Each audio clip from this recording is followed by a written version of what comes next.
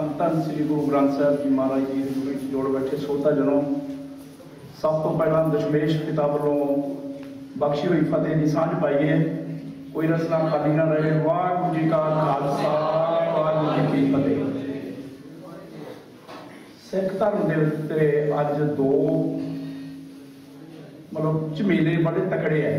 ਇੱਕ ਹੈਗਾ 10 ਗ੍ਰੰਥ ਤੇ ਦੂਸਰੀ ਹੈ ਰਾਗਮਾਲਾ ਆਪਾਂ ਅੱਜ ਸਿਰਫ 10 ਗ੍ਰੰਥ ਬਾਰੇ ਗੱਲ ਕਰਾਂਗੇ, ਫਿਰ ਕਿਤੇ ਮੌਕਾ ਮਿਲਿਆ ਤੇ ਆਪਾਂ ਰਾਗਮਾਲਾ ਬਾਰੇ ਵੀ ਗੱਲ ਕਰਾਂਗੇ। ਰਾਗਮਾਲਾ ਬਾਰੇ ਕਾਫੀ ਚਰਚਾ ਅਸੀਂ ਟੀਵੀ ਤੇ ਕਰ ਚੁੱਕੇ ਆ ਉਹ ਤੁਹਾਨੂੰ ਇੱਕ ਡੀਵੀਡੀ ਵੀ ਭੇਜ ਦਊਂਗਾ। 10 ਗ੍ਰੰਥ ਦੇ ਬਾਰੇ ਤੁਹਾਨੂੰ ਬਹੁਤ ਸਾਰੇ ਪਟਿਆਲਾ ਯੂਨੀਵਰਸਿਟੀ ਦੇ ਜਿੰਨੇ ਵੀ ਪ੍ਰੋਫੈਸਰ ਹੈ, ਉਹ ਸਾਰੇ ਇਹ ਕਹਿੰਦੇ ਸੁਣੇ ਜਾਣਗੇ, ਖਾਸ ਕਰਕੇ ਮੈਂ ਨਾਮ ਲਵਾਂ ਡਾਕਟਰ ਜੋਤ ਸਿੰਘ ਦਾ ਜਿਨੇ ਇਸ ਗ੍ਰੰਥ ਨੂੰ ਪਹਿਲੀ ਗੱਲ ਤਾਂ ਬਹੁਤ ਸਾਰੇ ਸੱਜਣਾ ਨੇ 10 ਗ੍ਰੰਥ ਦੇਖਿਆ ਨਹੀਂ ਹੋਣਾ ਮੈਂ ਤੁਹਾਡੇ ਵਾਸਤੇ ਲੈ ਕੇ ਆਇਆ ਇੱਥੇ ਛੱਡ ਕੇ ਜਾਣਾ? ਇਹ 10 ਗ੍ਰੰਥ ਹੈ ਇੱਕ ਜਿਲਦ ਇਹਦੇ ਉੱਤੇ ਇਹ ਲਿਖਿਆ ਹੋਇਆ ਹੈ, ਇਸ ਗ੍ਰੰਥ ਦੀ ਸੁਧਾਈ। ਗੁਰੂ ਪਿਆਰਿਓ ਮੰਨ ਲਓ ਇਹ ਗੁਰੂ ਗ੍ਰੰਥ 10 ਗ੍ਰੰਥ ਗੁਰੂ ਗੋਬਿੰਦ ਸਿੰਘ ਜੀ ਦਾ ਲਿਖਿਆ ਹੈ। ਮੈਂ ਤੁਹਾਨੂੰ ਸਵਾਲ ਪੁੱਛਣਾ ਚਾਹੁੰਦਾ ਕਿ ਕਿਸੇ ਬੰਦੇ ਨੂੰ ਹੱਕ ਹੈ ਕਿ ਉਹਨਾਂ ਦੀ ਲਿਖਤ ਦੇ ਵਿੱਚ ਕੋਈ ਸੁਧਾਈ ਕਰ ਸਕੇ। ਤੁਸੀਂ ਆਪ ਜਵਾਬ ਜ਼ਰੂਰ ਦੇਣਾ ਹਾਂ ਜਾਂ ਨਾ। ਜੇ ਗੁਰੂ ਗੋਬਿੰਦ ਸਿੰਘ ਜੀ ਦਾ ਲਿਖਿਆ ਹੋਇਆ ਹੈ ਤਾਂ 1872 ਦੇ ਵਿੱਚ ਜਿਹੜੀ ਕਮੇਟੀ ਬਣਾਈ ਗਈ ਸੀ ਤੇ 1877 ਜਾਂ ਅਹ, 76 ਦੇ ਵਿੱਚ ਇਹ ਵੀ ਪਹਿਲੀ ਵਾਰ ਪ੍ਰਕਾਸ਼ਿਤ ਹੋਈ ਹੈ ਇਸ ਤਰ੍ਹਾਂ ਦੀ। ਤੇ ਇਹ ਇਹਦੇ ਉੱਤੇ ਲਿਖਿਆ ਹੋਇਆ ਕਿ ਸਿਧਾਈ ਕਰਨ ਵਾਲੇ ਕੌਣ ਆ? ਜੇ ਇਹ ਗ੍ਰੰਥ ਗੁਰੂ ਗੋਬਿੰਦ ਸਿੰਘ ਜੀ ਦਾ ਹੈ ਤਾਂ ਇਹਦਾ ਕਿਸੇ ਨੂੰ ਕੋਈ ਹੱਕ ਨਹੀਂ ਹੈ ਕਿ ਇਹਦੀ ਸੁਧਾਈ ਕੀਤੀ ਜਾਵੇ। 1892 ਦੇ ਵਿੱਚ ਅੰਮ੍ਰਿਤਸਰ ਦੇ ਵਿੱਚ 13 ਅ, 30 ਬੀੜਾਂ ਇਸ ਕਿਸਮ ਦੀਆਂ ਸੀ। ਉਹਨਾਂ ਨੂੰ ਇਕੱਠੀਆਂ ਕਰਕੇ ਜਿਹੜੀ ਚੀਜ਼ ਉਹਨਾਂ ਨੂੰ ਚੰਗੀ ਲੱਗੀ ਉਹਦੇ ਵਿੱਚੋਂ ਕੁਝ ਉਹਦੇ ਵਿੱਚੋਂ ਇਕੱਠੀ ਕਰਕੇ ਸਾਡੇ ਗਲ ਇਹ ਮੜ ਦਿੱਤਾ ਗਿਆ। ਪਹਿਲੀ ਗੱਲ ਤਾਂ ਇਹ ਹੈ ਕਿ ਇਸ ਦੀ ਸੁਧਾਈ ਕਰਨ ਦਾ ਹੱਕ ਕਿਸੇ ਨੂੰ ਅਨ- ਕਿਸੇ ਨੂੰ ਨਹੀਂ ਹੈ। ਆਪਣੇ ਕੋਲ ਗੁਰੂ ਗ੍ਰੰਥ ਸਾਹਿਬ ਜੀ ਦਾ ਸਰੂਪ ਤਿਆਰ। ਉਹਦੇ ਉੱਤੇ ਕਿਤੇ ਵੀ ਲਿਖਿਆ ਕਿ ਫਲਾਨੀ ਕਮੇਟੀ ਨੇ ਇਹਦੀ ਸੁਧਾਈ ਕੀਤੀ।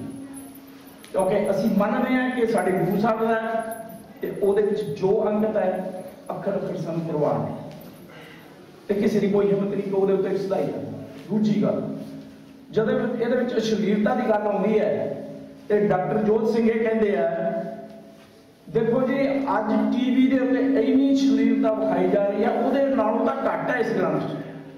ਤੇ ਮੇਰਾ ਉਹਨਾਂ ਨੂੰ ਇਹ ਸਵਾਲ ਪਹਿਲਾ ਟੀਵੀ ਸਾਡਾ ਧਾਰਮਿਕ ਗ੍ਰੰਥ ਨਹੀਂ ਹੈ। ਟੀਵੀ ਸਿੱਖ ਟੀਵੀ ਦੇ ਨਾਲ ਸਿੱਖਾਂ ਦੇ ਧਾਰਮਿਕ ਇੰਸਟੀਟਿਊਸ਼ਨ ਦਾ ਕੋਈ ਸੰਬੰਧ ਨਹੀਂ। ਉਹ ਜੋ ਮਰਜ਼ੀ ਉੱਥੇ ਵਿਖਾਉਣ, ਉਹ ਸਰਕਾਰਾਂ ਦਾ ਕੰਮ ਹੈ। ਸਾਡਾ ਕੰਮ ਹੈ ਕਿ ਅਸੀਂ ਆਪਣੇ ਸਿਧਾਂਤ ਨੂੰ ਸਮਝੀਏ। ਫਿਰ ਉਹ ਕਹਿੰਦੇ, ਇੱਕ ਉਹਨਾਂ ਦਾ ਹੋਰ ਸਵਾਲ ਹੁੰਦਾ ਹੈ ਦੇਖੋ ਜੀ, ਪੁਰਾਣਾ 'ਚ ਲਿਖਿਆ ਹੋਇਆ ਹੈ ਕਿ ਜਮੀ ਤੇ ਜਮ, ਭੈਣ ਤੇ ਭਰਾ ਆ। ਜਮੀ ਆਪਣੇ ਭਰਾ ਨੂੰ ਕਹਿੰਦੀ ਤੂੰ ਮੇਰੇ ਨਾਲ ਸੰਭੋਗ ਕਰ। ਅਗੇ ਹਿੰਦੂਆਂ ਨੇ ਕਦੇ ਨਹੀਂ ਕਿਹਾ ਵੀ ਪੁਰਾਣਾ ਤੋਂ ਆ ਚੀਜ਼ਾਂ ਕੱਢ ਦੋ, ਸਿੱਖ ਐਵੇਂ ਹੀ ਰੌਲਾ ਪਾਈ ਜਾਂਦੇ। ਉੱਥੇ ਸਾਡਾ ਇਹ ਸਵਾਲ ਬਣਦਾ ਹੈ, ਸਾਡੇ ਕੋਲੇ ਧਾਰਮਿਕ ਗ੍ਰੰਥ ਹੈ, ਗੁਰੂ ਗ੍ਰੰਥ ਸਾਹਿਬ ਜੀ। ਉਹ ਸਾਨੂੰ ਸੇਧ ਦਿੰਦੇ ਸੀ ਤੇ ਤਾਂ ਹੀ ਇਹ ਆਪਣਾ ਨਾਰਾ ਪ੍ਰਚਲਿਤ ਹੋਇਆ ਸੀ। ਕਿ ਆ ਗਏ ਨਿਹੰਗ ਬੂਹਾ ਖੋਲ ਦਿਓ ਨਿਸ਼ਾਨ ਕਿ ਇਹ ਹੁਣ ਤੁਹਾਡੀ ਰੱਖਿਆ ਕਰਨਗੇ। ਜਦੋਂ ਸਿੱਖਾਂ ਦੇ ਕੋਲੇ ਜੇਬ 'ਚ ਦੋ ਪੈਸੇ ਨਹੀਂ ਸੀ ਹੁੰਦੇ, ਉਦੋਂ ਬਗਾਨੀਆਂ ਦੀਆਂ ਆਪਣਾ ਦੀ ਰਾਖੀ ਕਰਨ ਵਾਲੇ ਸਿੱਖ ਆਪਣਾ ਇੱਕ ਉੜਤੇ ਦਾ ਇੱਕ ਟਾਕੀ ਪਾੜ ਕੇ ਦਿੰਦੇ ਸੀ, ਭੈਣ ਆ ਲੈ ਮੇਰੇ ਕੋਲ ਤੇ ਪੈਸਾ ਕੋਈ ਨਹੀਂ ਹੈ, ਪਰ ਜੇ ਤੈਨੂੰ ਕੋਈ ਤੰਗ ਕਰੇ ਤਾਂ ਉਹਨੂੰ ਇਹ ਟਾਕੀ ਦਿਖਾ ਦੇ ਆਪਣਾ ਬਾਣਾ ਨੀਲਾ ਸੀ ਤਾਂ ਉਹ ਨੀਲਾ ਬਾਣਾ ਬਾਣੇ ਦੀ ਟਾਕੀ ਦੇ ਕੇ ਸਮਝਦੇ ਵੀ ਇਹਦੀ ਰੱਖਿਆ ਖਾਲਸਾ ਫੌਜਾਂ ਕਰ ਰਹੀ ਜਿਹੜੀਆਂ ਲੜਕੀਆਂ ਨੂੰ ਗਜਨੀ ਦੇ ਵਿੱਚ ਜਾ ਵੇਚਿਆ ਜਾ ਰਿਹਾ ਸੀ ਤੇ ਅਹਿਮਦ ਸ਼ਾਹ ਕੱਢ ਕੇ ਲੈ ਕੇ ਜਾ ਰਿਹਾ ਜਦੋਂ ਮੋੜੀਆਂ ਗਈਆਂ ਨਾ ਵਾਪਸ ਘਰਾਂ 'ਚ। ਤੇ ਹਿੰਦੂ ਤੇ ਪੰਡਤ ਉਹਨਾਂ ਨੂੰ ਰੱਖਣ ਵਾਸਤੇ ਤਿਆਰ ਨਹੀਂ ਸੀ। ਫਿਰ ਖਾਲਸਾ ਵਾਪਸ ਜਾਂਦਾ ਉੱਥੇ ਤੇ ਤੁਹਾਨੂੰ ਇਹ ਸਰਬਜੀਤ ਸਿੰਘ ਧੂਰੇ ਦੀ ਇੱਕ ਕੈਸਟ ਤੋਂ ਮਿਲ ਜਾਏਗਾ।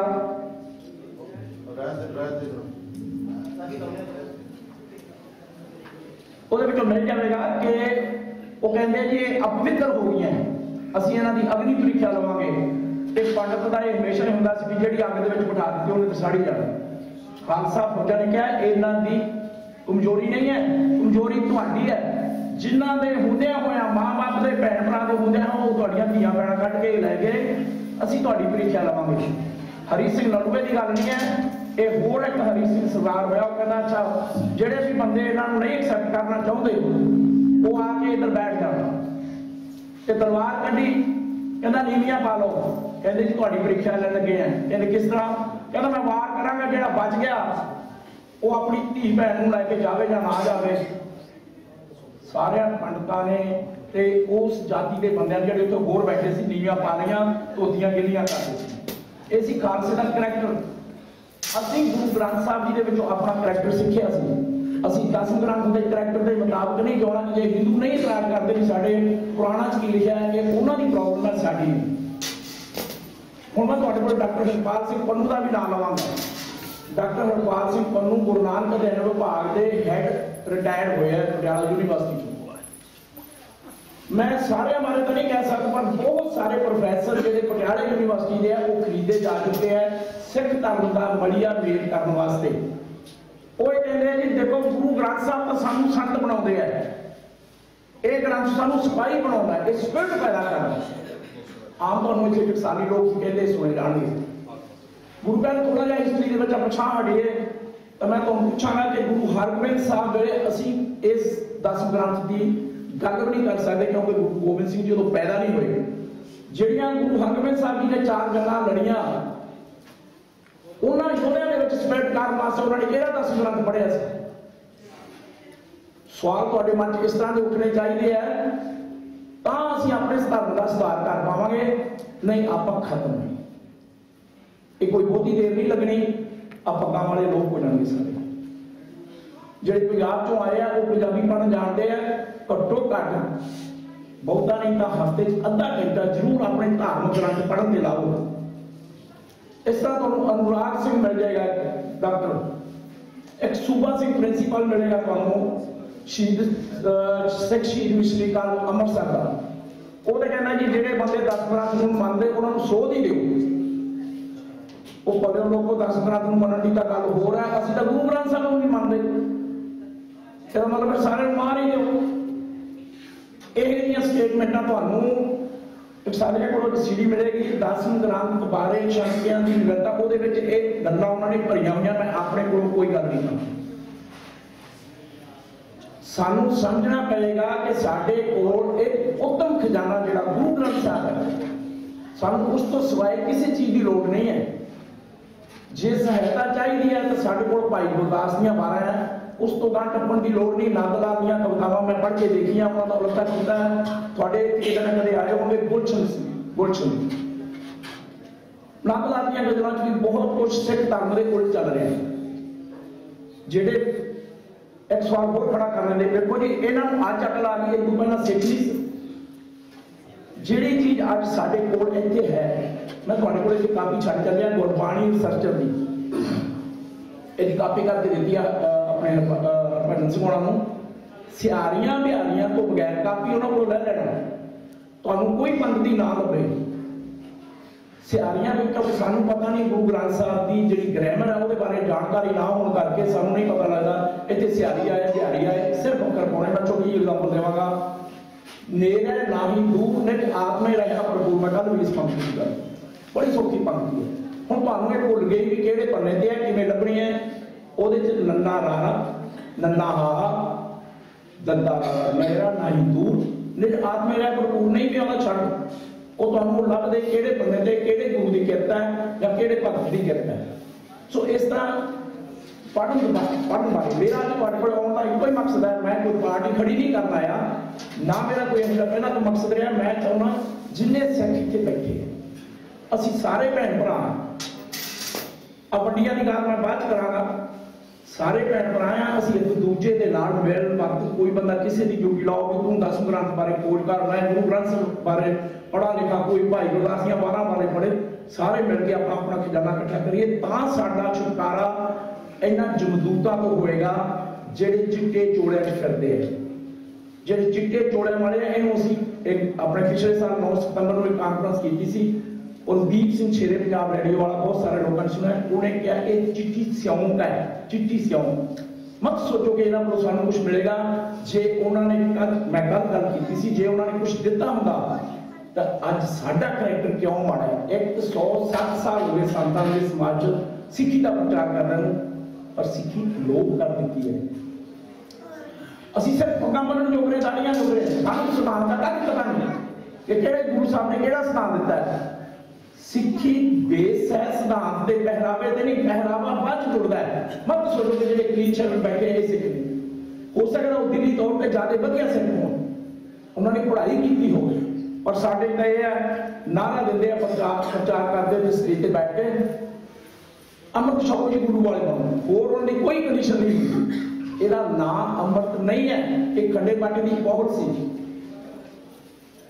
ਸੋ ਇੰਨੀਆਂ ਬੇਨਤੀਆਂ ਮੈਂ ਤੁਹਾਨੂੰ ਪਟਿਆਲਾ ਯੂਨੀਵਰਸਿਟੀ ਦੇ ਬੰਦਿਆਂ ਬਾਰੇ ਗੱਲ ਕਰਨੀ ਸੀ। ਉਸ ਤੋਂ ਅੱਗੇ ਆਉਂਦਾ ਹੈ। ਮੈਂ ਤੁਹਾਡੇ ਵਾਸਤੇ ਲੈ ਕੇ ਆਇਆ ਡਾਕਟਰ ਰਤਨ ਸਿੰਘ ਜੱਗੀ ਦਾ ਥੀਸਿਸ ਹੈ। ਇਹ ਇੱਥੇ ਛੱਡ ਕੇ ਜਾਵਾਂਗਾ ਇਹਦੀਆਂ ਕਾਪੀਆਂ ਕਰਾ ਕੇ ਪੜੋ ਤੁਹਾਨੂੰ। ਮੈਂ ਇਹਦੇ ਚੋਂ 10ਵਾਂ ਹਿੱਸਾ ਇਹ ਇਨਫੋਰਮੇਸ਼ਨ ਤੁਹਾਡੇ ਨਾਲ ਇੱਕ ਘੰਟੇ 'ਚ, ਸਾਂਝੀ ਕਰ ਪਾਵਾਂਗਾ ਬਹੁਤੀ ਨਹੀਂ ਕਰ ਪਾਵਾਂਗਾ।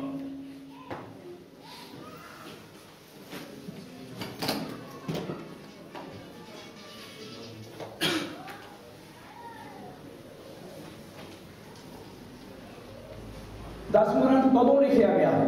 ਆਪਾਂ ਇੱਥੋਂ ਗੱਲ ਸ਼ੁਰੂ ਕਰਦੇ ਹਾਂ। ਤੇ ਕਿਵੇਂ ਹੋਂਦ ਵਿੱਚ ਆਇਆ? ਗੁਰੂ ਨਾਨਕ ਪਾਤਸ਼ਾਹ ਤੋਂ ਲੈ ਕੇ 10ਵੇਂ ਪਾਤਸ਼ਾਹ ਦਾ ਇਤਿਹਾਸ ਆਪਾਂ ਛੱਡ ਦਈਏ। 10ਵੇਂ ਪਾਤਸ਼ਾਹ ਦੇ ਜਿਹੜੇ ਸਮਕਾਲੀ ਕਵੀ ਹੈ, ਭਾਈ ਨੰਦ ਲਾਲ ਭਾਈ ਨੰਦ ਲਾਲ ਜੀ ਦਾ ਰਹਿਤਨਾਮਾ। ਇਹ ਛੋਟੀ ਜਿਹੀ ਕਿਤਾਬ ਹੈ 3 ਕੋ ਡਾਲਰ ਦੀ ਸਾਡੇ ਮਿਲਦੀ ਹੈ, ਸ਼ਾਇਦ ਤੁਹਾਡੇ ਵੀ ਮਿਲ ਜਾਂਦੀ ਹੋਵੇ, ਨਹੀਂ ਤਾਂ ਇੰਡੀਆ 'ਚ ਜਦੋਂ ਜਾਓ ਲੈ ਆਓ। ਇਹਦੇ 'ਚ ਬਹੁਤ ਸਾਰੇ ਰਹਿਤਨਾਮੇ ਲਿਖੇ ਹੋਏ ਹੈ ਮੈਂ ਇਹ ਨਹੀਂ ਕਹਿੰਦਾ ਕਿ ਉਹ ਅਥੈਂਟਿਕ ਹਨ ਜਾਂ ਨਹੀਂ, ਉਹ ਇੱਕ ਗੱਲ ਵੱਖਰੀ ਹੈ। ਇਹਦੇ 'ਚ ਤੁਸੀਂ ਪਹਿਲੇ ਹੀ ਚੈਨ ਪੜੋ ਭਾਈ ਨੰਦ ਲਾਲ ਦੇ। ਜਿਹੜਾ ਭਾਈ ਨੰਦ ਲਾਲ ਦਾ ਰਹਿਤਨਾਮਾ ਹੈ, ਉਹਦੇ ਵਿੱਚ ਉਹ ਗੁਰੂ ਗੋਬਿੰਦ ਸਿੰਘ ਜੀ ਨੂੰ ਗੁਰੂ ਗੋਬਿੰਦ ਸਿੰਘ ਕਰਕੇ ਨਹੀਂ ਲਿਖਿਆ। ਇਹਦਾ ਮਤਲਬ ਇਹ ਹੈ, ਇਹ ਨਹੀਂ ਹੈ ਕਿ ਗੁਰੂ ਗੋਬਿੰਦ ਸਿੰਘ ਨੇ ਮੰਨਣਾ ਮਤ ਸੋਚਣਾ ਉਹ 1699 ਦੀ ਵਿਸਾਖੀ ਤੋਂ ਪਹਿਲਾਂ ਦਾ ਲਿਖਿਆ ਹੈ। 1695 ਜਦੋਂ ਗੁਰੂ ਗੋਬਿੰਦ ਸਿੰਘ ਗੁਰੂ ਗੋਬਿੰਦ ਸਿੰਘ ਰਾਏ ਸੀ, ਸਿੰਘ ਨਹੀਂ ਸੀ। ਉਹਦੇ ਵਿੱਚੋਂ ਕਿਤੇ ਵੀ ਦਸਮ ਗ੍ਰੰਥ ਬਾਰੇ ਇਹਦੇ ਵਿੱਚ ਨਹੀਂ ਲਿਖਦਾ ਕਿ ਗੁਰੂ ਸਾਹਿਬ ਨੇ ਕੋਈ ਗ੍ਰੰਥ ਤਿਆਰ ਕੀਤਾ। ਜਿਹੜਾ ਉਹਨਾਂ ਦਾ ਤਨਖਾਹਨਾਮਾ ਉਹਦੇ ਚੋਂ ਗੁਰੂ ਗੋਬਿੰਦ ਸਿੰਘ ਵਾਚ ਲਿਖਦਾ ਹੈ। ਇਹਦਾ ਮਤਲਬ ਉਹ 1699 ਤੋਂ ਬਾਅਦ ਦੀ ਲਿਖਦਾ ਹੈ, ਕਿਉਂਕਿ ਹੁਣ ਗੁਰੂ ਗੋਬਿੰਦ ਸਿੰਘ ਦਾ ਨਾਮ ਸਿੰਘ ਬਣ ਗਿਆ, ਪੈ ਗਿਆ। ਉਹਦੇ ਵਿੱਚ ਕਿਧਰੇ ਵੀ ਇਹਦੇ ਵਿੱਚ ਤੁਹਾਨੂੰ ਦਸਮ ਗ੍ਰੰਥ ਬਾਰੇ ਲਿਖਿਆ ਨਹੀਂ ਮਿਲੇਗਾ, ਉਸ ਤੋਂ ਅੱਗੇ ਆ ਜਾਂਦਾ ਹੈ ਆਪਣਾ ਗੁਰਸੁਭਾ ਗ੍ਰੰਥ ਵਾਲਾ ਕਵੀ ਸੈਨਾਪਤੀ ਕਵਲ ਕਵੀ ਸੈਨਾਪਤੀ ਗੁਰੂ ਗੋਬਿੰਦ ਸਿੰਘ ਜੀ ਦੇ ਚਲਾਣਾ ਕਰਨ ਤੋਂ ਸਿਰਫ 3 ਸਾਲ ਬਾਅਦ ਇਹ ਚੀਜ਼ਾਂ ਲਿਖਦਾ ਹੈ। 1711 ਦੀ ਲਿਖਦਾ ਹੈ। ਉਹ ਆਪਣੀ ਲਿਖਤ ਵਿੱਚ ਦਸਮ ਗ੍ਰੰਥ ਬਾਰੇ ਕਿਤੇ ਜ਼ਿਕਰ ਨਹੀਂ ਕਰਦਾ। ਇਸ ਦੇ ਵਿੱਚ ਬਹੁਤ ਸਾਰੇ ਰਹਿਤਨਾਮਿਆਂ ਦੇ ਵਿੱਚ ਤੁਹਾਨੂੰ ਇਹ ਮਿਲ ਜਾਏਗਾ ਕਿ ਹੁਣ ਤੁਹਾਡੇ ਮਨ 'ਚ ਖਿਆਲ ਹੋਏਗਾ ਕਿ ਜੇ ਦਸਮ ਗ੍ਰੰਥ ਗੁਰੂ ਸਾਹਿਬ ਦੀ ਕਿਰਤ ਨਹੀਂ ਤੇ ਸਾਡਾ ਪੰਜਾਂ ਬਾਣੀਆਂ ਦਾ ਕੀ ਬਣੇਗਾ? ਇਹ ਸਵਾਲ ਤੁਹਾਡੇ ਉੱਠਣਾ ਕੁਦਰਤੀ ਹੈ। ਮੈਂ ਤੁਹਾਨੂੰ ਇਹਦੇ ਵਿੱਚੋਂ ਪੜ੍ਹ ਕੇ ਸੁਣਾਵਾਂ। ਇਹ ਮੈਂ ਸਾਰੀ ਕਿਤਾਬ ਨੂੰ ਤੁਹਾਡੇ ਨਾਲ ਪੜ੍ਹ ਨਹੀਂ ਸਕਦਾ। ਇਹ ਤੁਸੀਂ ਆਪ ਪੜ੍ਹਿਆ ਜੋ ਕੋਈ ਇੱਕ ਰਹਿਤਨਾਮੇ ਵਾਲਾ ਚੌਪਾ ਸਿੰਘ ਸਾਰਿਆਂ ਨੇ ਨਾਂ ਸੁਣਿਆ ਹੋਵੇਗਾ ਕਿ ਗੁਰੂ ਗੋਬਿੰਦ ਸਿੰਘ ਜੀ ਦਾ ਪੜਾਵਾ ਸੀ। ਉਹ ਕੁਝ ਹੋਰ ਲਿਖਦਾ ਹੈ ਕਿ ਗੁਰੂ ਸਾਹਿਬ ਨੇ ਅਹ, ਮੰਤਰ ਪੜਿਆ ਕੋਈ ਕਹਿੰਦਾ ਚੰਡੀ ਦੀ ਵਾਰ ਪੜੀ ਕੋਈ ਕਹਿੰਦਾ ਹੈ, ਗੁਰੂ ਸਾਹਿਬ ਨੇ ਜਾਪ ਦਾ ਉਚਾਰਨ ਕੀਤਾ, ਕੋਈ ਨਾਨਕ ਸਾਹਿਬ ਦੇ ਕੋਈ ਕੋਈ ਕੋਈ ਵੀ ਰਹਿਤਨਾਮੇ ਵਾਲਾ ਇਹਨਾਂ ਪੰਜ ਬਾਣੀਆਂ ਦਾ ਜ਼ਿਕਰ ਨਹੀਂ ਕਰ ਜਿਹੜੀ ਕਿਤਾਬ ਮੈਂ ਤੁਹਾਨੂੰ ਡਾਕਟਰ ਰਤਨ ਸਿੰਘ ਜੱਗੀ ਦੀ ਦਿਖਾਈ ਹੈ, ਇਹਦੇ ਵਿੱਚ ਉਹ ਕਹਿੰਦਾ ਹੈ ਕਿ ਅੱਜ ਤੋਂ ਇਹ ਸਾ- ਅਹ ਤਕਰੀਬਨ 1960 ਦੇ ਵਿੱਚ ਲਿਖਿਆ ਗਿਆ ਸੀ ਤੇ ਹੁਣ 60 ਸਾਲ ਹੋ ਗਏ। ਅਹ 50 ਬਾਰਾਂ 52 ਸਾਲ ਹੋ ਗਏ। ਉਦੋਂ 50 60 ਸਾਲ ਹੋਰ ਪਿਛਾਂਹ ਲਗਭਗ ਸਵਾ ਕੁ ਸੌ ਸਾਲ ਪੁਰਾਣੀ ਕੋਈ ਲਿਖਤ ਨਹੀਂ ਮਿਲਦੀ ਜਿਹਦੇ ਵਿੱਚ ਇਹਨਾਂ ਪੰਜਾਂ ਬਾਣੀਆਂ ਦਾ ਜ਼ਿਕਰ ਹੋਵੇ ਕਿ ਗੁਰੂ ਸਾਹਿਬ ਨੇ ਖੰਡੇ ਬਾਟੇ ਦੀ ਬਹੁਤ ਤਿਆਰ ਕਰਨ ਵੇਲੇ ਇਹ ਪੰਜ ਬਾਣੀਆਂ ਪੜੀਆਂ ਸੀ। ਇਹ ਪੰਜ ਬਾਣੀਆਂ ਜਦੋਂ ਅਸੀਂ ਆਪਣੀ ਸਿੱਖ ਰਹਿਤ ਮਰਜ਼ਾਦਾ ਬਣਾਈ, ਉਸ ਵੇਲੇ ਭਾਈ ਵੀਰ ਸਿੰਘ, ਭਾਈ ਵੀਰ ਸਿੰਘ ਦਾ ਨਾਮ ਹੈ ਮੈਂ ਬਹੁਤਾ ਨਹੀਂ, ਉਹਦੇ ਬਾਰੇ ਗੱਲ ਕਰਨੀ। ਉਹ ਉਸ ਪੈਡੀਆ ਸਿੱਖ ਸੀ ਆ ਇਹਨਾਂ ਪੰਜਾਂ ਬਾਣੀਆਂ ਨੂੰ ਪਸਾਉਣ ਵਾਲਾ ਤੁਹਾਨੂੰ ਸੀ, ਕਿਸੇ ਨੇ ਬੱਲਾ ਬਾਤਾਂ ਭਾਈ ਸਿੰਘ ਵੀਰ ਸਿੰਘ ਬਾਰੇ ਕਰਨੀਆਂ ਹੋਈਆਂ ਮੇਰੇ ਨਾਲ ਬਾਅਦ ਚ ਕਰ ਲਿਆ ਆਪਾਂ ਜ਼ਿਆਦਾ ਜ਼ਿਆਦਾ ਇਹਦੇ ਬਾਰੇ, ਦਸਮ ਗ੍ਰੰਥ ਬਾਰੇ ਗੱਲ ਕਰੀਏ। ਭਾਈ ਵੀਰ ਸਿੰਘ ਨੇ ਆਹ ਪੰਜ ਬਾਣੀਆਂ ਦਾ ਟੈਂਡਾ ਸ਼ੁਰੂ ਕੀਤਾ। ਭਾਈ ਵੀਰ ਸਿੰਘ ਨੇ ਸਾਨੂੰ ਏਅਰਪੋਰਟ ਤੇ ਟੱਗਿਆ ਭਾਈ ਵੀਰ ਸਿੰਘ ਨੇ ਆਪਣੇ ਆਰਟਿਸਟ ਸੋਭਾ ਸਿੰਘ ਕੋਲੋਂ ਆਹ ਫੋਟੋਆਂ ਬਣਾ ਕੇ ਸਾਡੇ ਪੇਸ਼ ਕਰ ਦਿੱਤੀਆਂ, ਜਿਹੜੀਆਂ ਫੋਟੋਆਂ ਗੁਰਬਾਣੀ ਮੁਤਾਬਕ ਨੇ। ਗੁਰਬਾਣੀ ਇਹ ਕਹਿੰਦੀ ਹੈ ਵੀ ਜਿ- ਹਰੇ ਜਿਨ੍ਹਾਂ ਜਪਮਾਲੀਆਂ ਰੋਗੇ ਹੱਥ ਨਭਾ ਹੋਏ ਹਰ ਕੇ ਸੰਤ ਲਾ ਕੇ ਬਨਾਰਸ ਕੇ ਟੱਗ। ਇਹਨਾਂ ਫੋਟੋਆਂ ਦੇ ਉੱਤੇ ਗੁਰੂ ਨਾਨਕ ਪਾਤਸ਼ਾਹ ਦੇ ਹੱਥ ਦੇ ਉੱਤੇ ਮਾਲਾ, ਸਿਰ ਤੇ ਮਾਲਾ, ਗਲ ਮਾਲਾ, ਸਾਰੇ ਗੁਰੂਆਂ ਦੇ ਗਲਾਂ ਵਿੱਚ ਮਾਲਾ। ਇਹ ਸਾਨੂੰ ਫੋਟੋਆਂ ਵੀ ਸਿੱਖ ਧਰਮ ਨਾਲੋਂ ਤੋੜ ਰਹੀਆਂ ਹੈ ਆਪਾਂ ਜਦੋਂ ਸੱਚੇ ਸਿਧਾਂਤ ਨਾਲ ਜੁੜ ਜਾਾਂਗੇ ਫਿਰ ਸਾਡੇ 'ਚ ਕੋਈ ਭਿੰਨਤਾ ਨਹੀਂ ਰਹਿ ਜਾਏਗੀ ਕਿ ਕੌਣ ਕਿਹੜੀ ਚੀਜ਼ ਹੈ। ਇਸ ਤੋਂ ਅੱਗੇ ਮੈਂ ਗੱਲ ਕਰਾਂ ਤੁਹਾਡੇ ਨਾਲ ਅਭੀ ਸੈਨਾਪਤੀ ਤੋਂ